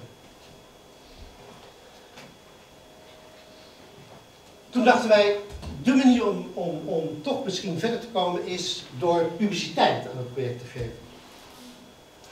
We hebben toen een, website gemaakt. U ziet hem hier op het Hartstikke Weg. Hartstikke website. We hebben alle panden laten fotograferen door een, door een, fotograaf van de Haagse Courant. Alle panden en dan daar een grote, grote panoramafoto van gemaakt van de hele Hartstikke weg, van elk pand. En bij elk pand vervolgens gezet wat wij wisten aan, informatie van die woningkaarten en van die gezinskaarten. Dat is natuurlijk heel simpel. Mensen wonen van die tot die periode, de gezinssamenstelling, eh, de beroepen van, van de vader of soms van de moeder. En that's it. Als we iets hadden, als we iets hadden gevonden, kreeg, de, je een groen rondje. als je op dat groene rondje klikt, dan kom je een album in. En in het album zit dan de informatie die wij op dat moment hadden over een zeer beperkt aantal families. Het tweede wat we hebben gedaan naast die website, want ja, wie, wie komt naar die website toe? Dat, daar moet je rugbaarheid aan geven. Dat was artikelen. Dus artikelen in Joodse bladen. Artikel in een groot artikel van Mark Dirks voor de Volkskrant. U ziet hier de wand waarop we alle informatie in ons kantoor hadden. Artikel, een artikel in het Nederlands Israëlitisch Weekblad. Een artikel in de Jerusalem Post om te kijken. Veel mensen zijn U weet, is de grootste uh, Joodse gemeenschap, de grootste na Amsterdam, 17.000 tot 17.500 mensen. Daarvan zijn er 2.500 teruggekeerd en een groot deel daarvan is naar Palestina gegaan, later Israël of naar de Verenigde Staten bijvoorbeeld. Dus rugbaarheid geven aan het project, dat, dat, was eigenlijk de, inzet. Dat was, dat was um, de steen van Rosetta, zo u wil. En wat we ook hebben gedaan, contact opgenomen met, met de Koninklijke Academie. En daar met studenten samen een projectje van gemaakt, een klein beetje geld ingestopt. En die hebben posters gemaakt en kaarten. En die posters, u ziet hier de posters, wie herinnert zich de poster Wakker Rekel uit de Grenzenstraat. Wie herinnert zich aan Joodse buurmeisje uit de Haagse straat. Die hebben we een tijd lang door de hele stad op allerlei plekken opgehangen. Dat was een manier rugbaarheid geven in de hoop dat er mensen reageren. Het tweede wat we hebben gedaan is, wat je, wat je moet doen is reizen. Ik vertelde over die, over die Lea Zahavi, de dochter van Rachel Barsam, die um, naar, speciaal naar Scheveningen, naar die lezing bij Open Joodse Huizen toe was gekomen. We hebben haar opgezocht in uh, Jeruzalem. Dat was de kist waarin ze heel veel materiaal verzamelde uh, bewaard moet ik zeggen. Maar ze, ze, was wel huiverig om dingen te laten zien. Liever gezegd dingen te laten lezen. We, kregen bepaalde foto's. Dit was lange tijd de lievelingsfoto van Hanneke en mij die we voor op het boek wilden. Dat is hem niet geworden. Um, maar dit is gewoon, mensen zeggen altijd, die, Joodse orthodoxe gemeenschap in, in Scheveningen, die, die zag eruit in 1916 op de klassieke manier, zoals je nu ziet in Antwerpen of in bepaalde wijk in Jeruzalem of elders in Israël. Maar de meeste families waren in hun uiterlijk en in hun leefwijze zeer sterk westers georiënteerd. Dat zie je daar heel mooi op deze foto, vind ik. Gewoon, een gewoon gezin, gewone kleding. Ze heeft een zwarte pop, ik weet niet of dat tegenwoordig ons mag, maar toen mocht het in ieder geval wel. En ze ons een aantal, heeft ons een aantal brieven meegegeven, waardoor we meer inzicht kregen in wat er met haar moeder was gebeurd tijdens de oorlog en haar verblijf in Zwitserland. Een klassieke route. De andere was via Spanje en Portugal om tijdens de oorlog uh, aan de Shoah te ontkomen. Shoah te ontkomen. Um, Rolf Nieuwom, de onze leermeester zal ik maar zeggen, die had ook allerlei andere adressen opgegeven van mensen die we absoluut moesten bezoeken. Onder andere Dof Mats. Dof Mats kwam uit de familie, Mats Heijmans, een grote fotografenfamilie, deels uit Rusland, deels uit Nederland. Uh, terwijl ik s'avonds bij Dof Mats zat, zei twee weken geleden heb ik een hoofdstuk toegestuurd gekregen uit een boek. Uh, en dat boek is van Abi Lipschutz. Dat had hij twee jaar daarvoor gepubliceerd. Hij woonde in Texas, Houston, Texas. Dit boek, dat u hier achter u ziet. Growing Up Jewish in Holland, Belgium, Palestine, Israel, Amerika en Texas. Ik had s'avonds meteen die twee hoofdstukken die, hij toegestuurd had gekregen, via zijn zoon, die heb ik gelezen. En wat bleek, die Abbe Liebschutz, die, in, um, die met zijn familie op de Hartstikke weg woont, en er wonen allerlei ooms in andere straten in de buurt. En, en, en grootvader, Chaim Simon Liebschutz, zeg maar de patriarch van de familie, woonde in een kapitaalpand op de Badhuisweg 73. Die, die Abbe Lipschitz, die had een fantastische manier van schrijven met details waar je vingers van aflikt. Of ze historisch betrouwbaar zijn, of die details kloppen. Ik, ik, ik zou het niet weten, je kunt het checken aan de reguliere literatuur. Um, over Shabbosmaaltijden en, en dergelijke meer. Maar een man met een, groot geheugen, die met veel plezier dat op papier heeft gezet. En echt drie, vier hoofdstukken wijd aan de periode van de familie in, in Scheveningen en rondom de, rondom de. Dus ik dacht meteen, die man, ja, die moeten we spreken. We gaan naar Texas, we gaan die man spreken, die heeft vast ook foto's, die heeft misschien wel meer verhalen. Maar, hoewel we via, zelfs ik geloof via de rechterhand van Rutte en de diplomatieke dienst hebben geprobeerd om die man te achterhalen, toen we zijn adres hadden en zijn vrouw de lijn kregen, zeiden ze dat hij net twee jaar ervoor was overleden. Die, die dingen gebeuren natuurlijk ook. Maar dat boek zet ons wel op het spoor van zeg maar, een van de, van de iconische figuren uit, die, uit, die, uit, uit Krakau en uit, uit Galicië afkomstige Poolse gemeenschap, die naar België toe was gegaan aan het eind van de 19e en begin van de 20e eeuw. daar voorspoed had gekregen en in 1914, 15 verplicht was om België te verlaten. Niet was teruggekeerd, zoals de Belgische overheid zei. Gaan we terug naar, uh, naar wat, we nu Polen Oekraïne zouden noemen. Nee, een deel ging naar het westen. Um, en van, van die grote gemeenschap waarvan 700 families in Scheveningen terechtkwamen, en ik geloof meer dan 50 families op de, op de. Um, ongelooflijk, in die periode, toen had je maar 99 was op de Hartstoekweg, was, was die Geheim Simon Liepsuits wel een, eh, zijn grootvader wel een, iconisch, belangrijke, belangrijke figuur. Dus we kwamen gelijk veel te weten over die ene familie. En het bleek later, ook dat was uniek, dit hele boek gaat alleen maar over toeval. Um, bleek dat zijn zus Miriam Lipschutz had voor haar kleindochter Ariel ook een boek geschreven op hoge leeftijd over haar periode daar. Tweede grote bron. En de derde bron was dat zijn oom Jeff Lipschutz had ooit in de jaren 60 met Ivriet herinneringen opgehaald aan de periode van de familie hier in Scheveningen. Dus die hoofdstukken die van, die van belang waren hebben laten vertalen. En dat hadden we drie, drie bronnen drie hele belangrijke bronnen, zeg maar dagboekachtige bronnen, die ons inzicht verschaften, naast de andere informatie, over deze familie. Zeg maar wanneer je moet ophouden, want ik het altijd veel te lang. Nou, vijf minuten of zo. Vijf minuten? Ja. Goed, dan, dan, ja, dat is goed. Vijf minuten. Dus u ziet uh, allerlei foto's. Deze, ik vind ook een schitterende foto van de familie Liebschutz, alle verwanten bij elkaar. En dat is waar we, waar we achter, achter kwamen. Dat zou je zeggen, dat is een van de rode draden door het boek. Dat je ziet dat in die internationale gemeenschap, die zich daar begon te vormen, internationale Joodse gemeenschap, dat daar uh, heel veel verwanten tegelijkertijd neerstreken. Ooms, tantes, opa's, oma's, neven, nichten, broers, zussen. Uh, dat was niet alleen met de familie Liebschutz, maar de talloze families achterhaalden wij. En dit is de familie Liebschutz in het groot. Bij Jeff Liebschutz, die ik dacht in het begin dat hij de hand van die vrouw vast heeft. Dat zijn zijn eigen handen die hij zo aan elkaar heeft. Dat zijn leuke details. Um, een andere familie, om nog even gewoon te blijven bij die drie families, waarvan we papieren vonden. Of nog een beetje later is. Uh, dat is de familie Boutelje. Uh, er was één foto die we, die we daar vonden in het, uh, tussen het puin, of liever gezegd in de, in de dozen, het gemeentearchief.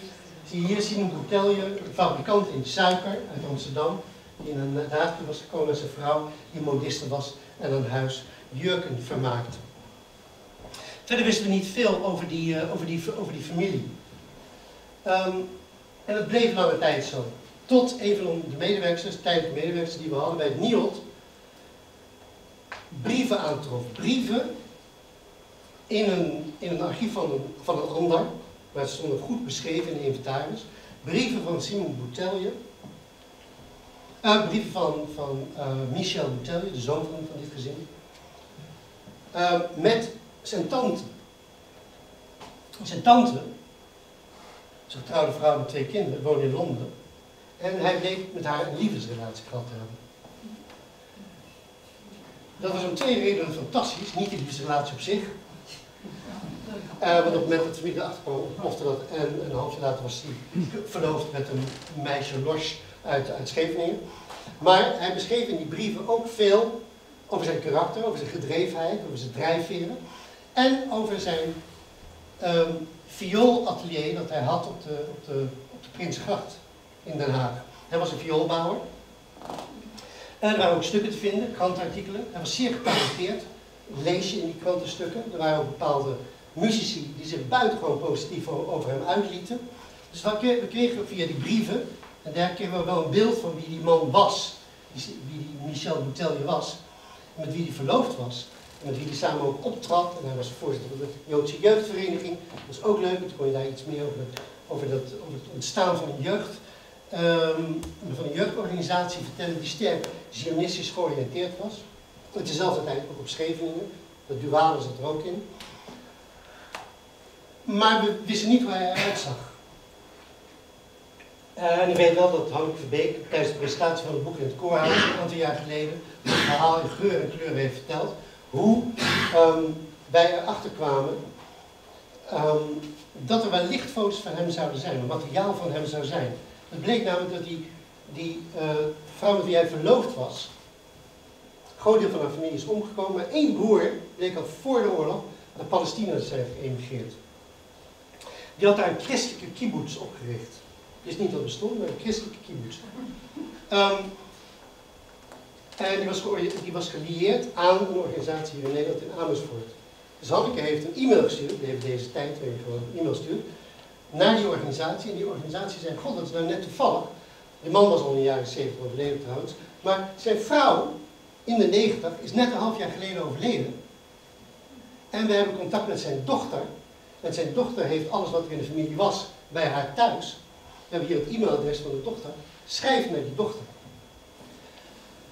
En toen op een zondagmorgen weet ik nog, ja, dit is allemaal heel persoonlijk hoor, misschien interesseert u totaal niet. Maar op een zondagmorgen belt Hanneke mij en zei, wat mij nou gebeurd is. Vannacht om twee uur kwamen wij thuis, uh, samen met mijn man en mijn vriendin. En ik doe mijn computer open, want ze was net zo gek als ik, dus s'nachts doe je je computer open, je kijkt of er iets is binnengekomen. En daar bleken foto's van Simon Boutelje, van uh, Michel Boutelje, in zijn werkplaats.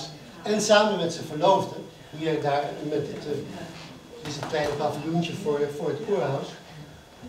Die bleken, die bleken in een album gezeten te hebben. Zij, zij wist niet eens wie die mensen waren. Maar ze vermoeden dat dit wel de figuur zou zijn, kunnen zijn naar wie wij op zoek waren. En zij stuurde straks die, die foto's aan ons toe. Waardoor ineens ook deze familie, familie een gezicht kreeg.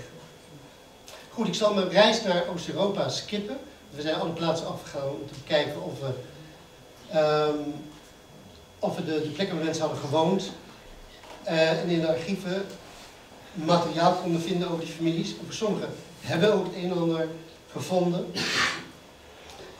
Maar ik wil het antropologische deel van die zoektocht dan maar, dan skippen voor, voor, voor dit moment, het dan Ik, ik ben eigenlijk met, met, met, met, met Hotel Noordzee. Dat is een van die, van die hotels die er al lange tijd waren.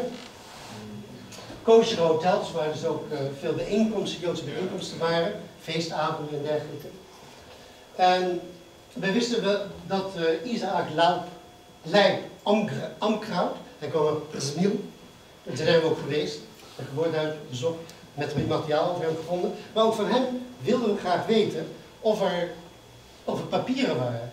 En dan wilde het toeval dat op, op het toeval, het levende archieven, bij het Holocaust Memorial Museum in Washington, heb je, daar worden heel veel persoonlijke archieven van mensen die in, uh, uh, niet alleen in de Verenigde Staten, maar ook elders ter wereld wonen, die worden daar naartoe gestuurd.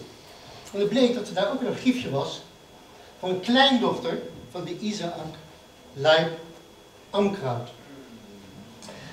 Um, en die, hij was gescheiden van zijn vrouw, was in Nederland hertrouwd, maar hij had nog wel in 1939, toen de oorlog uitbrak in Polen, had hij um, geld, diamanten en voedsel gestuurd naar zijn ex-vrouw en zijn dochter. Nou, die dochter, die heeft het weer gegeven aan haar kind. En dat kind had het materiaal gestuurd naar het museum. Um, met een beschrijving erbij. Alleen, dat materiaal was natuurlijk niet, nog niet gescand. Dus toen hebben wij een pleidooi gehouden bij de hoofdconservator daar of dat materiaal op korte termijn kon worden gescand voor ons, zodat we het zouden kunnen gebruiken voor ons boek. En ik weet nog wel, een week voordat het naar de drukker moest, kwamen die foto's binnen. Onder andere deze foto van Isaac Leib Amkraut. En dat was het bewijs, dat, dat, dat is wat het boek me geleerd heeft, um, dat het mogelijk was om van bijna alle families in ons boek, het zijn zo'n 20 families, 15 tot 20, 15 echt, op wie we de focus hebben kunnen richten, echt, echt zo hebben kunnen richten, over wie we een verhaal konden vertellen. Al die mensen, via de Verenigde Staten, via Israël, via Australië, Nieuw-Zeeland en waar dan ook, dat wordt er levend internet, het wereldwijde web, mensen met we contact hebben gehad en van wie we iedereen hebben uiteindelijk gezicht kunnen geven. Iedereen hebben uiteindelijk een foto. En dat doet mij realiseren, en ik ben benieuwd wat u dat vindt en jij kunt. Eh, ik heb dat pleidooi wel bij, bij, Wallet en bij anderen gehouden, bij Gans. Als je nu dat materiaal wereldwijd niet gaat verzamelen, is het straks weg. Dan wordt het, gewoon bij het vuilnis gegooid. Niemand weet meer wie erop staan. Uh, niemand kan die teksten meer lezen. Dus die, die, die verzameling naar die, dat deel van de Joodse geschiedenis, want niet alles is aan het zwarte gat van de Shoah verdwenen, dat zou je nu nog op dit moment kunnen verzamelen. Omdat er nog mensen zijn die of getuigen zijn geweest, of die uit, uh, als tweede generatie of derde generatie in ieder geval nog over dat materiaal beschikken. Maar als je het nu niet doet, dan is het voorbij. Dank u wel.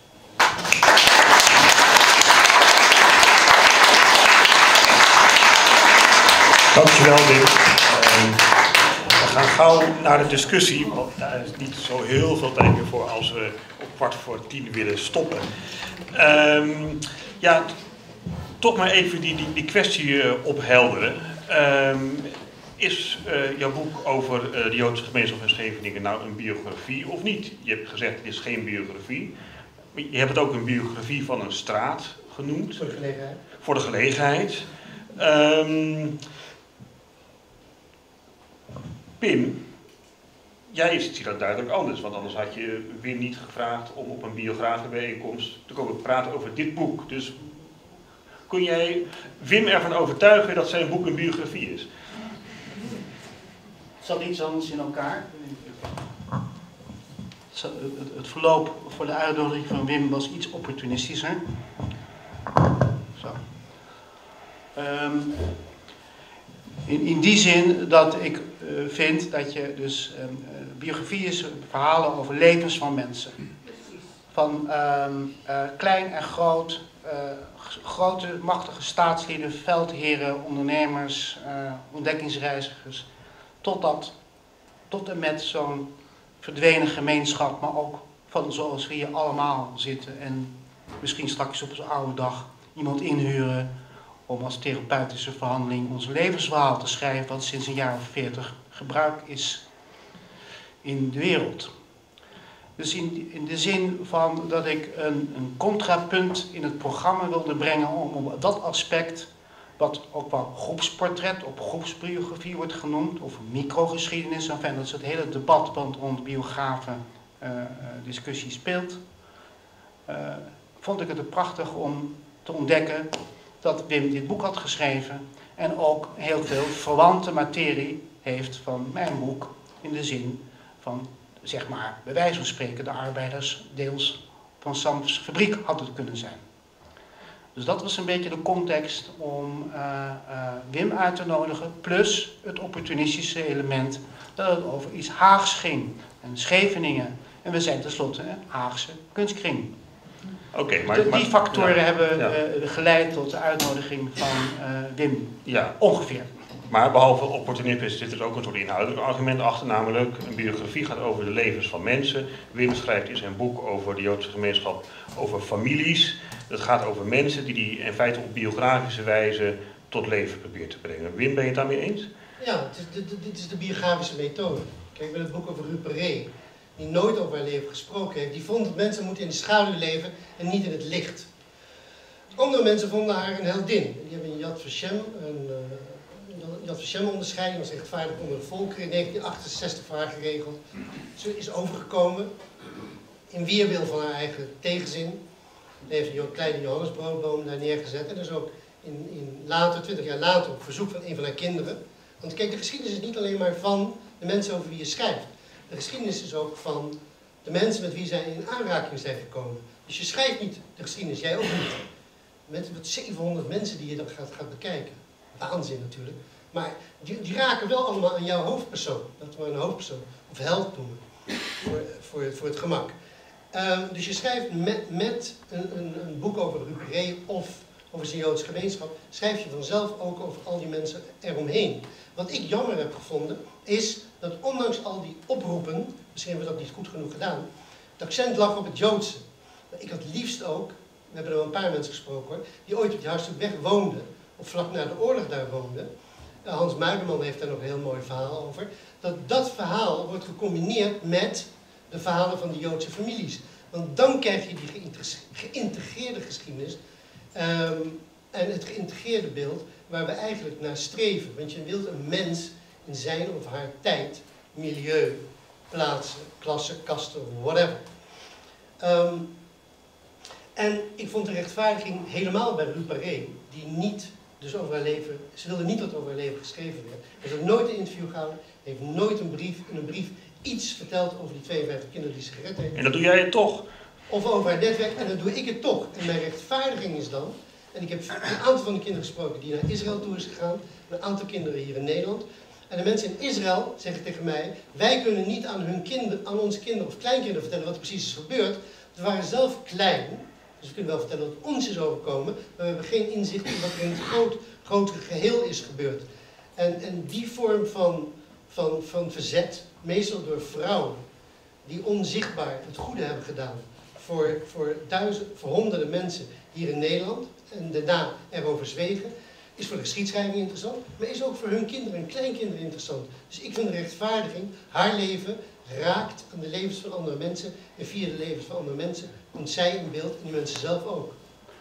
Uh, hierop aansluitend, het gaat natuurlijk om dat je uiteindelijk ziet dat biografische methode, zoals het noemt, uh, anno nu, uh, langzamerhand ook in de algemene geschiedschrijving een onderdeel is geworden, een instrument is geworden om tot grotere inzichten te komen. En dat uh, is een inzicht wat een jaar of 20, 30 geleden in algemene zin in de wereldgeschiedschrijving niet zo erg een rol speelde. Tegenwoordig spreekt men dan ook wel in, onze, in vakringen van historici van de zogenaamde biografische ommezwaai. Om daar een totaal ander voorbeeld van te geven. Op dit moment uh, werkt een, in de Universiteit van Leiden een Finse historicus, Karle Wirta, aan een studie van Heinrich Karloff. Is Heinrich Karloff? Dat is in Rostock geboren uh, ondernemer, eigenlijk begon als soldaat in, in, Brazilië, die uiteindelijk vooral voor de West-Indische Compagnie, voor de Zweeds-Indische Compagnie en de Deens-Indische Compagnie heeft opgericht in Ghana en Accra, de man was.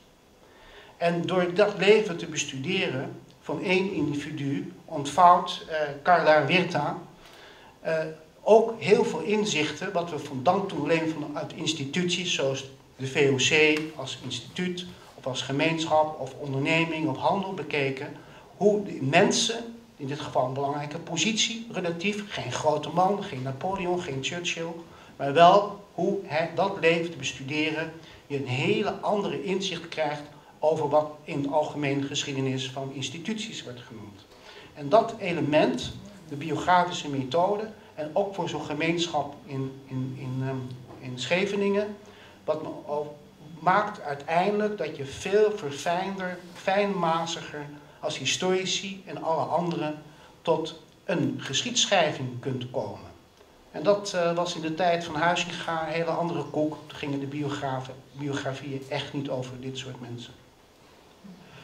Maar wat ik dan wel benieuwd ben, wat is dan precies die biografische methode en is die zo anders dan, dan is, een, is een biografie schrijven een heel ander soort onderzoek dan bijvoorbeeld een, een monografie schrijven over een instelling of over een, uh, zeg, uh, zeg je had bijvoorbeeld een, een monografie geschreven over het, het, het, ontstaan van het, van, het, van het Nederlands bedrijfsleven. Had je dan op een heel andere manier onderzoek gedaan dan nu? Ik denk dat ik dan uh, een paar honderd mensenlevens nodig had gehad om daar uh, iets van te kunnen voltooien. Om die reet uh, wat te verbreden als ik de geschiedenis van het Nederlandse bedrijfsleven had moeten schrijven. Maar ja, of in een bepaalde periode. Ik zeg van, ik neem die periode van Sam van den Berg, maar ja, ik ga niet. Zelfs ik, dan. Ik, ik, ik, ik, neem niet Sam van den Berg centraal, maar ik, ik, ik wil nee, begrijp of een boek over Unilever bijvoorbeeld. Ja, een boek nee, begrijp je maar dat is ja. dus ook het dilemma van, Ja. van historici. Je moet de, de, het is natuurlijk, je hebt verschillende processen die leiden tot biografische methoden toepassen. De motieven zijn commercieel gestuurd, dat begrijpelijk zijn door de wetenschap gestuurd of door religie, politiek. Ik beperk me even tot de wetenschap. En dat is ingebed door allerlei aanleidingen. In dit geval van uh, uh, Sam van den Berg, door, mede door bedrijfsgeschiedenis. Zonder het bedrijf nou, was er niet zoveel aanleiding voor. Of voor de uh, Joodse geschiedenis van Harstenoopweg, zonder de Shoah was het misschien wel een verhaal geweest, maar op een hele andere manier. En inderdaad, wat Wim naar voren bracht, wanneer je pas echt de doorbraak maakt, is als je die, al die mensen die tussen die Joden hebben gewoon op de Hartstoekweg ook aan het woord had kunnen gelaten van wat ze toch uh, uh, mee hebben gemaakt en hoe hun levens zijn verlopen. En dan kom je stukje voor beetje steeds meer bij geschiedschrijving. Maar Wim, wat, wat vind jij, vind jij de biografische methode wezenlijk anders dan dan zeg maar, uh, regulier historisch onderzoek doen? Ik had mijn hele levenwerk moeten doen, vind ik. Hmm. Kijk, ik ben, ben opgekomen dat ik uh, in 2001 de gelegenheid kreeg om van de Haagse krant. Die vroeg mij of, of, ik wilde schrijven over migratie, maar ik heb heel veel over migratie geschreven, heel veel over Indië geschreven. Ik zei, nou, ik, ik, heb geen behoefte om in die krant columns te schrijven. Maar ik loop al heel lang rond. Ik ben in 51 geboren, ik ben in een arbeidersgezin opgegroeid. Er was geen cultuur, er was niets. Um, op een vreemde manier ben ik toch in de, in de wetenschap terechtgekomen. Ik ben een kind van de sociale democratie en ik ben een product van de sociale democratie van de jaren 60, begin jaren 70. Nou, hoe, hoe heeft dat jongetje uit dat milieu, er kwamen nog drie kinderen na mij, dat was allemaal schrapen, zou ik maar zeggen. Hoe heeft, hoe, heeft hij zijn leven beleefd? Nou is dat niet die biografische methode, dat is een autobiografische methode, of autobiografisch is een veel te groot woord. Ik heb verhaaltjes geschreven over, over mijn jeugd, 100 verhaaltjes over de eerste 23 jaar van mijn leven, maar wel geprobeerd om aan de hand van de literatuur te kijken of ik niet de fout in ging. Bovendien publiceer ik het in de krant, toen de Haagse krant nog echt een krant was, die door 125.000 mensen in het weekend werd gelezen. En ik dacht, als ik fouten maak, kunnen zij dat corrigeren en zo wordt het beeld wordt verfijnd en wordt aangevuld. En zo kom je langzamerhand tot een portret van een arbeiderswijk of een mhm. arbeidersbuurt. Um, en omdat ik zag, en daar wil ik naartoe, dat het duizend mensen reageerden erop en kwamen met hun verhalen. Dat, dat, daar werd ook ruimte voor geboden in Haagse krant in die tijd. We hadden theateravonden waar, uh, waar Deetman sprak, Wim de Bie, Kees van Koten, uh, Simon Smit, de fotograaf en talloze anderen. Uh, want er werd een soort appel gedaan op het groepsgevoel van de Hagenaar en de Hagenees. Meer de Hagenees trouwens dan de Hagenaar, denk ik. Maar die kwamen met hun verhalen. En dat heeft bij mij bewustzijn versterkt dat, of misschien wel opgewekt, dat, dat, je, dat, je, dat je een beroep kunt doen om mensen, om na te denken over hun eigen geschiedenis. En omdat die geschiedenis een, een beslag krijgt in de levens van mensen, kun je via die verhalen meer te weten komen. Het heeft zijn beperkingen als bron, absoluut. Maar het zegt wel iets dat, dat, het, dat er zoveel identificatie was. Er was identificatie met die serie. En later merkte ik dat, ik heb wel, wel, ik heb wel vijf, zes boeken geschreven over Indië en de Indische gemeenschap. Vrij institutioneel, daar vroeg je net naar. Mhm. Dus alle archieven van alle ministeries bekeken, van proggies bekeken, van allerlei organisaties erbij waren betrokken. Nederlandse, kerkelijke en Indische. En die boeken die hadden, wel, die hadden wel een functie. En die werden ook wel gelezen. Als je een boek schrijft over Indië, word, je altijd gelezen door minstens 3.000, 4.000 mensen. Dat is heel gunstig om daarover te schrijven. Maar wat ik, wat ik miste, wat ik miste is dat ik, dat ik, kwam niet in die tijd, ik kwam zelf als, als, als historicus, als schrijver, niet in die tijd terecht. Hm. En ik, ik, ik, was ooit door, door, door Lilo Dussel, de weduwe van Charlie Robinson, in 83 al, toen ik een afstudeerscriptie schreef samen met mijn vrouw, Annemarie Cotard, was ik al gewezen op het werk van Charlie Robinson. Uh, dus die man en zijn stem, hij heeft een soort tegenstem. Hij, hij, hij beschrijft namelijk het Indische van binnenuit en niet van buitenaf. Dus niet institutioneel, dat zou uiteindelijk mijn antwoord bij jou zijn. Dat als je naar de institutionele bronnen kijkt, krijg je altijd een beeld van buitenaf. En wat je mist, is het beeld van binnenuit. Je kunt wel over, um, je kunt wel over beleid praten ten opzichte van, van, van migranten, minderheden, homoseksuelen of, of, of noem het maar op. Maar als je de beleidsstukken gaat bekijken en de beleidsbronnen, dan kom je nooit terecht bij wat mensen zelf beleefd hebben. En, en hoe ze hun leven ervaren hebben en hoe ze reageerden op de beeldvorming van de wereld buiten hen. Het leven is interactie. Als je de interactie niet laat zien, dan krijg je geen, volgens mij geen, geen compleet beeld, voor zover het sowieso te krijgen is. Want, want, want het verleden blijft natuurlijk een onbekend land.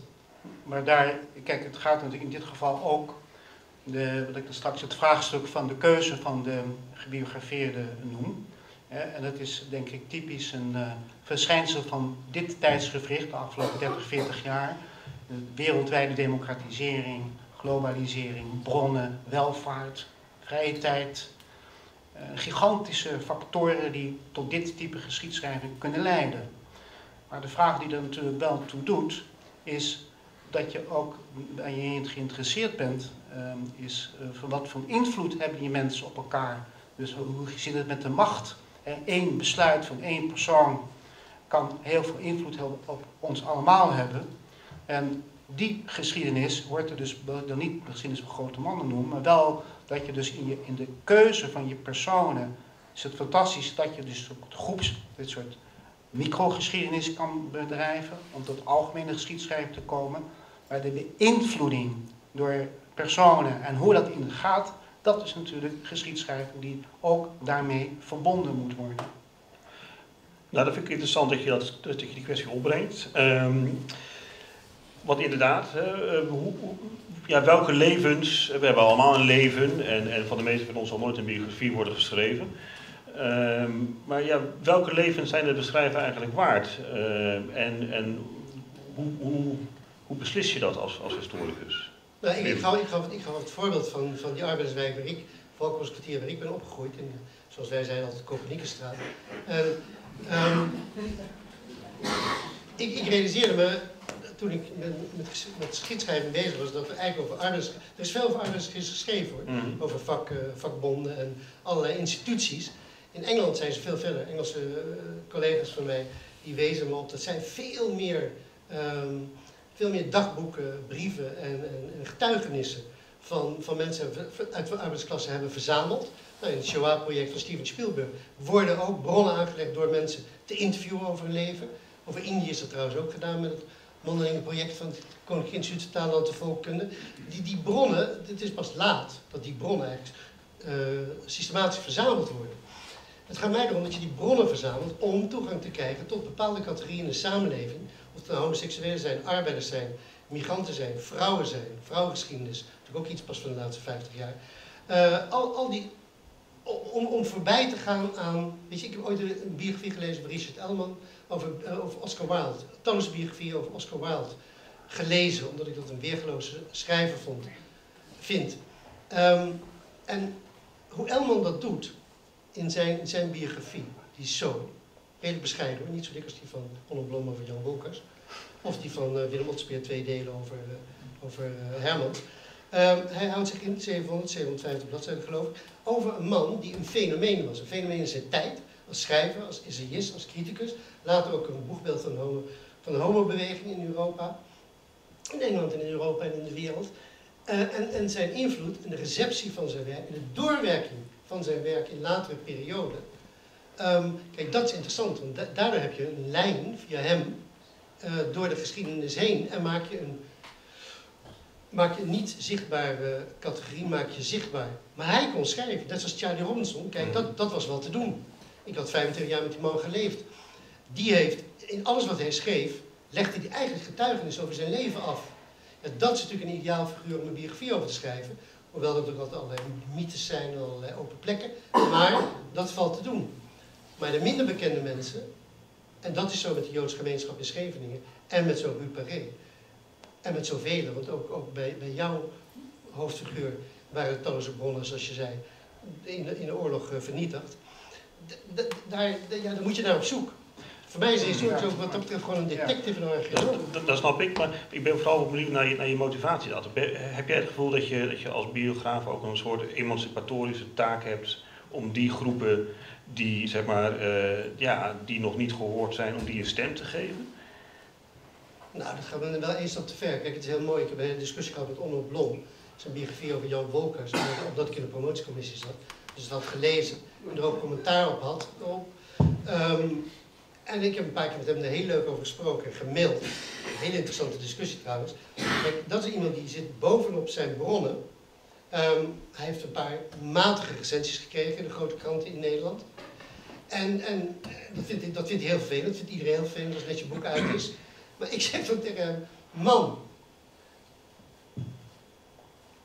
er worden 20, 30, 40, 50, 60.000 van jouw boeken verkocht. Dus als je gaat kijken naar wat zo'n boek doet, en Bolkers was een bekende figuur. Mm. Dus je hoeft niet altijd een onbekende figuur te hebben. Iedere Oscar was natuurlijk precies hetzelfde. En Thomas Anders, Shelley Byron, noem ze maar op. Kijk, die verkopen wel omdat, omdat hun werk gekend wordt en de personen gekend worden. Dus het, het argument kan niet alleen maar zijn dat je, dat je het onzichtbare zichtbaar wil maken. Ehm, het argument moet ook zijn, tenminste is het voor mij, dat iemand moet staan voor een grote categorie. Aan de hand van Charlie Robinson kun je de hele geschiedenis Mhm. van, van, van koloniale denken, de Japanse bezetting, de dekolonisatie, de migratie naar Nederland, een deel naar weer de Verenigde Staten en terug. En de manier waarop hij met zijn, zijn blad Tong Tong met de passer heeft geprobeerd daar, daar, daar een, vorm voor te vinden, kun je vertellen. Aan de hand van Ruperé, hoe moeilijk ook, hoop ik iets verteld te hebben over die onzichtbare verzetsnetwerken, die er niet alleen in Den Haag, maar overal in Nederland waren, waarin vrouwen vaak een essentiële rol vervulden. Dus in die zin raakt het aan meer. dan naar de persoon. Kijk, het, eh, eh, het- ik denk niet dat dat de vraag moet zijn of het een emancipatorische taak heeft. Het heeft weer te maken met die hele eh, hoofdlijn van, ons, van de historici en wij allemaal, dat we begrip willen krijgen voor de wereld, voor ons verleden, dat we willen snappen wat er in ons heen gebeurt. Daar, daar gaat geschiedschrijving om. Dat we verhoudingen, al dan niet kloppende machtsverhoudingen, dat we willen begrijpen wat schoonheid betekent, voor wie, voor Oscar Wilde of niet. Dat we onze helden willen leren kennen, ontdekken dat het niet zulke helden zijn. Maar uiteindelijk om de grote samenhang, voor zover die bestaat, te doorgronden. Al die kleine stukjes, zoals deze geschiedenissen die Wim net schetst, of de verhalen, familieverhalen van Sam van den Berg, zijn altijd onderdeel met een poging om wel tot wat men dan noemt integrale geschiedschrijving te geraken. Dat is een ongoing story en soms lukt het beter, soms lukt het minder goed. Ik geef een voorbeeld vanuit de categorie van Van den Berg. Er zijn nu een paar delen met kleine biografieën van Nederlandse industriëlen verschenen. Helaas is die serie nu gestopt. Maar dan wil je graag de volgende stap. Het verband tussen al die industriëlen van de eind 19e, begin 20e eeuw. Zeg maar tussen aanhalingstekens de 200 van Mertens, zoals dat vroeger werd genoemd. En is dat verband er wel? Of weer terug te keren naar wat ik net noemde over die Finse onderzoeker, wat dan de 17e eeuw, 18e eeuwse materie is. Brengt uiteindelijk brengt de, de aanstekens biografische methode, en dat is een groot ver, verandering, een paradigmatische verandering wat mij betreft, in de geschiedschrijving wel beter inzicht in die verhoudingen tussen kleine en grote, tussen aanhalingstekens machtige en onmachtige. En, en correcties, mag ik Ja. er nog iets aan toevoegen? Ja. Correcties soms op het geschiedbeeld. Ja. Zonder dat ik echt kan generaliseren, is mij opgevallen bij het onderzoek van hier wonen wij. De families die ik gesproken heb, ik heb natuurlijk maar beperkt aantal nazaten van, van families kunnen spreken. Dus moesten mensen het overleefd hebben, simpelweg. Maar bij die mensen die het hebben overleefd, en dat geldt voor minstens zes families toch, van de vijftien, eh, dat ik de mensen kon spreken, die vertelden mij dat na de oorlog, dus dat is niet het Margamingo verhaal, en een algemeen verhaal over die Nederlanders pikten ook heel snel onze bezittingen in. Dus er gewoon zes verhalen van mensen die zowel in Antwerpen als in Jeruzalem en elders na de oorlog allerlei bezittingen van hen, die waren ondergebracht bij een Nederlandse familie, kennis of vrienden of anderen, zijn bewaard en toegestuurd per schip. Zijn toegestuurd. Dat vond ik al een hele mooie correctie op toch het beeld van ja, die Nederlanders hebben gewoon alles ingepikt, klaar. Nee, als je op microniveau kijkt kun je zien dat er vele uitzonderingen bestaan. Het tweede is, en dat verbaasde veel mensen, dat heeft ook een groter inzicht, ik wil het verbinden met een groter inzicht, dat heel veel mensen vertelden dat ze op, op, eh, op, scholen, op scholen waren geweest in, in Scheveningen. Gewoon, gewoon je had natuurlijk geen Joodse school, dus je kreeg pas 42, maar, of 41, maar die, die gewone scholen. Maar in de, in de winter werd, zoals het heet, de jodenbel door de conciërge geluid. Smiddags als het donker werd, zodat de Joodse kinderen naar huis konden. Op Sabbat hoefden ze niet aanwezig te zijn, terwijl je in die tijd nog lagere school onderwijs had tot 1 of 2 uur 's middags. Kortom, eh, er werd met, met, met Sinterklaas kreeg ze een koosjere chocoladeletter. Met kerstmis kreeg ze een koosjere, ehm, eh, hoe noem je dat, zo'n staaf met amandelvulling. Pakket staan. Zelfs hun eigen banketstaaf. Zelfs hun eigen ouders waren daarover verbaasd. Dus ik, wat, ik, wat ik daarmee wil zeggen is dat er waren veel sporen die ik, ik kreeg veel sporen te horen van een veel ehm, gemakkelijker met elkaar omgaan, doordat iedereen gelovig was in die tijd, dat is nu natuurlijk heel anders. Veel gemakkelijker met elkaar omgaan van protestanten, katholieken en joden in die grote Scheveningse gemeenschap dan vaak wordt aangenomen. De fixatie is altijd op het andere van joden, maar dat die joodse gemeenschap, die toch vrij groot was, zo geïntegreerd daar leefde, en dat natuurlijk koosje bakker en koosje slager niet konden leven met alleen maar joodse cliëntelen, dus een veel bredere cliëntelen hadden, en daardoor wel konden overleven, dat eh, kun je zien als je mensen zelf daarover aan het woord laat en herinneringen laat ophalen. Dan kun je een, ja, Ja. Ja, maar dat brengt, beeld dat, krijgen. dat brengt ook, dat, als naar het aanvullen, je vroeg naar, het, jij brengt inderdaad op dat de biograaf, biografieën, groepsportretten, bij, ehm, ehm, geschiedbeelden kunnen bijstellen. Dat is wat ik er straks ook aangaf met het voorbeeld van eh, die ehm, eh, Finse onderzoeker over de VOC, maar ook in mijn geval met Zand van den Berg. Er bestonden allerlei geschiedbeelden die, doordat je zo de lens in de diepte richt en veel, veel meer andere bronnen en de interactie van bronnen wereldwijd inderdaad door de biografische twinningsteeks methode toepast, kom je tot hele andere beelden dan de algemene geschiedschrijving tussen aan een bedrijf van de Berg bijvoorbeeld, of van Unilever in dit geval, tot dan toe gold. Dus ja, de bijvangst is ook een verfijning en een verbetering van het geschiedsbeeld in algemene zin, dankzij het toepassen van biografieën of groepsportretten zoals Wim. Oké, ehm, ja, we gaan al over de tijd heen, maar ik wil toch nog één laatste vraag stellen, omdat die is helemaal aan het begin eigenlijk al, al opgegooid. En, en de zaal wil ik ook nog even de gelegenheid geven. Maar er is, ja, want we moeten naar de borrel. hè? Maar dat kan misschien ook tijdens de borrel. Nee, nee, één, twee vragen. Um, zou, zou het voorstellen dat we dat de nu gelegenheid geven? Nou, ik wil graag nog eventjes dit afmaken, want er was een daar begon namelijk het hele verhaal mee, van uh, de, de, kunst en, en, en, Waar komt toch het, het rare idee vandaan dat biografie uh, ja, iets, iets literairs en onwetenschappelijks heeft? Wim, heb jij daar verklaring voor? Waarom staat biografie, want dat is ook met, uh, binnen, de, binnen de academische wetenschap, biografen hebben lang moeten vechten voor, hun, voor erkenning. En hoe, hoe kan dat? Waarom is biografie, waarom wordt dat als, als literatuur beschouwd en niet gewoon als gedegen. Wie zegt dat? Wie zegt dat? Nou ja, dat, dat, dat, daar begon Pim al mee. Met, uh... je, kan, je kan het ook omkeren hoor. Je kan het ook omkeren. En je kan je afvragen waarom zijn boek van Aniette van Zijl over um, Sunny Boy. Uh, Sunny Boy. Waarom dat zo, waarom dat zo populair is. Um, maar daar zit ook verzinsels in. Dat is gewoon. ja, maar het is wel een geschiedverhaal dat is heel serieus genomen wordt. Er is ook een film gemaakt, een documentaire een documentaire gemaakt, terwijl een vriendin van mij, Ida Does, een regisseuse, zelf uit Suriname, die heeft zich aan het boek, ik trouwens ook, enorm gestoord, omdat zij vindt dat het Surinaamse perspectief wordt gecorrumpeerd. Dat is dat uiteindelijk, Anniette zelf kijkt niet met de Surinaamse blik. Ze heeft toch een helder verhaal daar neergezet, ook aan de hand van, van, van die zoon natuurlijk, die Wally Nops. En, um, of Wal, Walter, Wally Nops. Uh, en, en, Waldemar. Waldemar. En, en zij, zij vindt dat daardoor um, daardoor, uh, jij haalde ze mooi aan in het begin.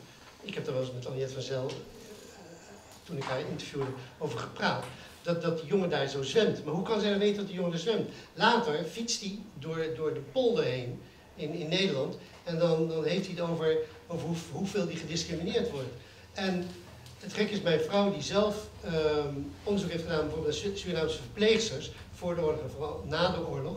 En die ook onderzoek heeft gedaan naar zwarte modellen Surinaamse modellen voor de oorlog in, in Nederland, vooral in Amsterdam, een heel ander beeld krijgt van het zwarte bewustzijn van toen. Dus je moet enorm uitkijken. En dat, doet, dat, dat is een valkuil van een romancier. Ja. Met sterke historische potenties, vergeet dat niet met Maar het is nog veel erger, uh, dat, dat, hele slot, dat heeft ze verzonnen. Hoe hij aan zijn einde komt. Hij, hij, bij die schipbreuk uh, spoelt hij aan land en dan wordt hij door een, een soort lid van de Hitlerjugend, krijgt hij dan nog een kogel door zijn pas gejaagd dat is gewoon puur uit de duim gezogen. Dus ik zou dat boek ook helemaal niet willen beschouwen als een, als een, als, als een wetenschappelijk boek. Nee, niet als een wetenschappelijk boek, maar het geschiedbeeld, daar hadden we het net over. Mm. Uh, daar hadden wij het allebei over. Dat het geschiedbeeld, je moet eigenlijk Popperiaans altijd zoeken naar falsificaties. Je moet zoeken mm. naar tegenbeelden, tegenstemmen. En zij bepaalt dat geschiedbeeld sterk. Hè? Dat heeft trouwens uh, ook, ook Geert Mak met vroegere boeken heeft dat, heeft dat gedaan. Het is maar de vraag uh, of, of, of wetenschappers niet net zich, zich net zo sterk zouden moeten inspannen. Ja, het komt er dus op aan dat historici goed moeten kunnen schrijven, maar wel wetenschappelijk blijven. Dus dat is eigenlijk de hele kunst tussen aanhalingstekens. En daarmee heb je uh, de verbinding kunst en wetenschap. En dat is de worsteling waar ik het er straks ook even over heb gehad. En ja, elk beeld, uh, ik geef een voorbeeld, elke metafoor die je kiest, een militaire, een religieuze, een politieke metafoor, heeft een lading. Of om het heel anders te zeggen, je moet dus je publiek bereiken, maar het moet wel de nodige diepgang en verantwoording koesteren. En dat is, ja, dat is de ene keer meer geslaagd dan de andere keer. En als ik nou over mijn eigen historische scholing spreek, ten tijde dat ik geschiedenis in Amsterdam studeerde, werd er natuurlijk helemaal geen bal gedaan van hoe je moest opschrijven. En nog steeds is het verhaal vraagstelling, methode, theorie, inhoud, noten, verantwoording, conclusies. Maar ja, het bloed en het vlees daartussen, hoe zit dat dan in elkaar? En hoe verhoudt zich dat inderdaad woord voor woord, semantisch, zodat de lezer het idee heeft: A, ik zit op het puntje van mijn stoel, zoals ik had toen ik het boek van Wim las. En B, het is tamelijk aannemelijk dat het klopt. Bijvoorbeeld zoals Frits van Oosterom ook te werk gaat in zijn boek over Brederode nu net. Je hebt nergens het idee, hier zit die man uit zijn duim te zagen, terwijl je toch met rode oortjes in de middeleeuwse geschiedenis terecht bent gekomen. Iets waar ik tot nu toe niets meer in verdiept. Maar nou denk ik, nu ga ik op het andere boek van hem leven. Over Jacob van Maarland. Oké, dus duidelijk. Dus een goede biografie is geen fictie, maar het moet wel lekker lezen. Daar komt het uit. Lekker. Ik weet het wel. Ja, goed. Diepgang houden. Diepgang. Ja, maar dan mag het toch wel lekker lezen. Goed, eh, ja, de zaal. Eh, zullen we dat nog eventjes doen, eh Pepin? Tot tien uur? Ja, is goed. Oké. Wie heeft er op langere Ik zie daar een vinger omhoog gaan. Ja, meneer. Ja, ik wil graag even eh, re- reageren op het eh, laatste stuk. Waarom in de opleiding nooit iets gezegd is over het vlees wat tussen de botten van de methode en de theorie zou gevoed moeten worden. Ik kan u verzekeren uit hele lange ervaring, daar waren studenten nooit aan toe. Het is namelijk datgene wat je eerder zei, namelijk een goede biografie wordt geschreven door iemand die kan schrijven. En die historicus, een historicus die goed kan schrijven. Daar gaat het eigenlijk om. En dat goede schrijven, dat is een kunst. En dat kun je niet leren. Misschien wel bepaald, nou bepaalde methoden, dat, dat kan wel. Maar de echte, Mm. goede, die hoeft niet te leren, want die kunnen het. Ja, maar, maar luister, we leiden historici op A tot docenten, dat ze goed kunnen vertellen, dat is het merendeel van de beroepsgroep, wereldwijd. En B, dat ze buitendien nog verhalen kunnen vertellen in films of boeken. Als ze niet kunnen vertellen, niet kunnen schrijven, waarom kunnen ze dan hun beroep uitoefenen? Het zijn twee verschillende dingen, hè? vertellen of schrijven. Nee. Nee. Wim. Wim, Wim, klopt dit beeld? Want, Jij, jij stapt zo nog uit, eh, uit de op- opleidingspraktijk. Dus eh, hebben jullie studenten inderdaad te weinig geleerd hoe ze moeten schrijven? Uh, eerst maar is het geen jullie. Sorry, Ehm, eh, kijk, je voelt je niet aangesproken. nee, dat zie je, ik kom meteen opstand. Ik, ik heb bij heel veel studenten die bijvoorbeeld college over oral history gaf, dat, dat vond ik leuk om te doen. Ehm bovendien, we weten er iets van, denk ik, uit, uit mijn praktijk. Merk dat, dat studenten, ik zeg vaak gewoon een academische opleiding, is al lang gewoon een voortzetting van de middelbare school. Eh, van tentamen naar tentamen, je krijgt bepaalde stof op en je moet het goed weten te reproduceren, precies zoals Pim net zei. Ehm, het, het is een kwestie van een formule bij, het is een soort formule. Terwijl, terwijl studenten waren soms ontevreden over mij. Waarom? Omdat ik probeerde een enige bieldoen, het is een beetje een ouderwets begrip, enige bieldoen bij te brengen. Om het over boeken te hebben, om het over films te hebben, om ze essays te laten schrijven, om zich op zichzelf te laten reflecteren. Of op een milieu te laten reflecteren. En dan hoorde ik toch voortdurend, ja, bij de andere colleges hoeven we dat niet. We willen vooral weten wat de collegestof is. Zoals je dat op de middelbare school. Terwijl als je met collega's praat in Engeland of in delen van de Verenigde Staten, die hebben veel meer die narratieve traditie. Die hebben veel meer die essayistische traditie. Er wordt veel meer nadruk op gelegd. Daardoor eh, lullen ze ook altijd iedereen van tafel op congressen. Want, want ze zijn er veel beter geschoold in. Laten we nou wel wezen. En toch wil ik wel iets zeggen over dat, over schrijven. Want, daar heb ik mijn hele leven mee geworsteld, tot de huidige dag. Ik durfde toch pas over Charlie Ronson te schrijven. Toen ik, ehm, toen denk ik 45, 50 was. Dus toen ik al heel veel boeken had geschreven. Sowieso heel veel over Indië had geschreven. Ik heb Nederlands gestudeerd en literatuurwetenschap en een beetje geschiedenis. Dan gepromoveerd als historicus. En toen dacht ik, nu durf ik het aan. Nu durf ik mezelf, want je meet jezelf ook. Hè? Je meet jezelf met stof. En met met de persoon. Je moet er wel durven om een heel oeuvre van iemand. Of, of, een hele, hele beroepsgroep zoals jij. Om, om die onder de loep te leggen en daar nog een mening over te hebben. Ook aan de hand van hè, meticuleus bronnenonderzoek. Ehm, dus er is, ik, ik heb me wel lang moeten scholen. Voordat ik het idee had, ik kan nu met een pen iets doen. Waardoor ik die man en zijn oeuvre en zijn, zijn, zijn, wat hij in zijn leven heeft voorgesteld, eh, recht kan doen. Ja, daar sluit ik me bij aan. Ik denk niet dat ik de biografie van Sam van den Berg had kunnen schrijven als ik niet eerst allerlei andere boeken ook tot stand had gebracht. Is er nog een vraag uit de zaal?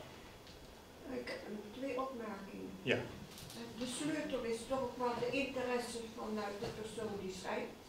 En dat hij diezelfde interesse weet over te brengen op het publiek. En dan heb je een goede match natuurlijk. Heeft iedereen het kunnen verstaan ook achterin? Ja? Oké.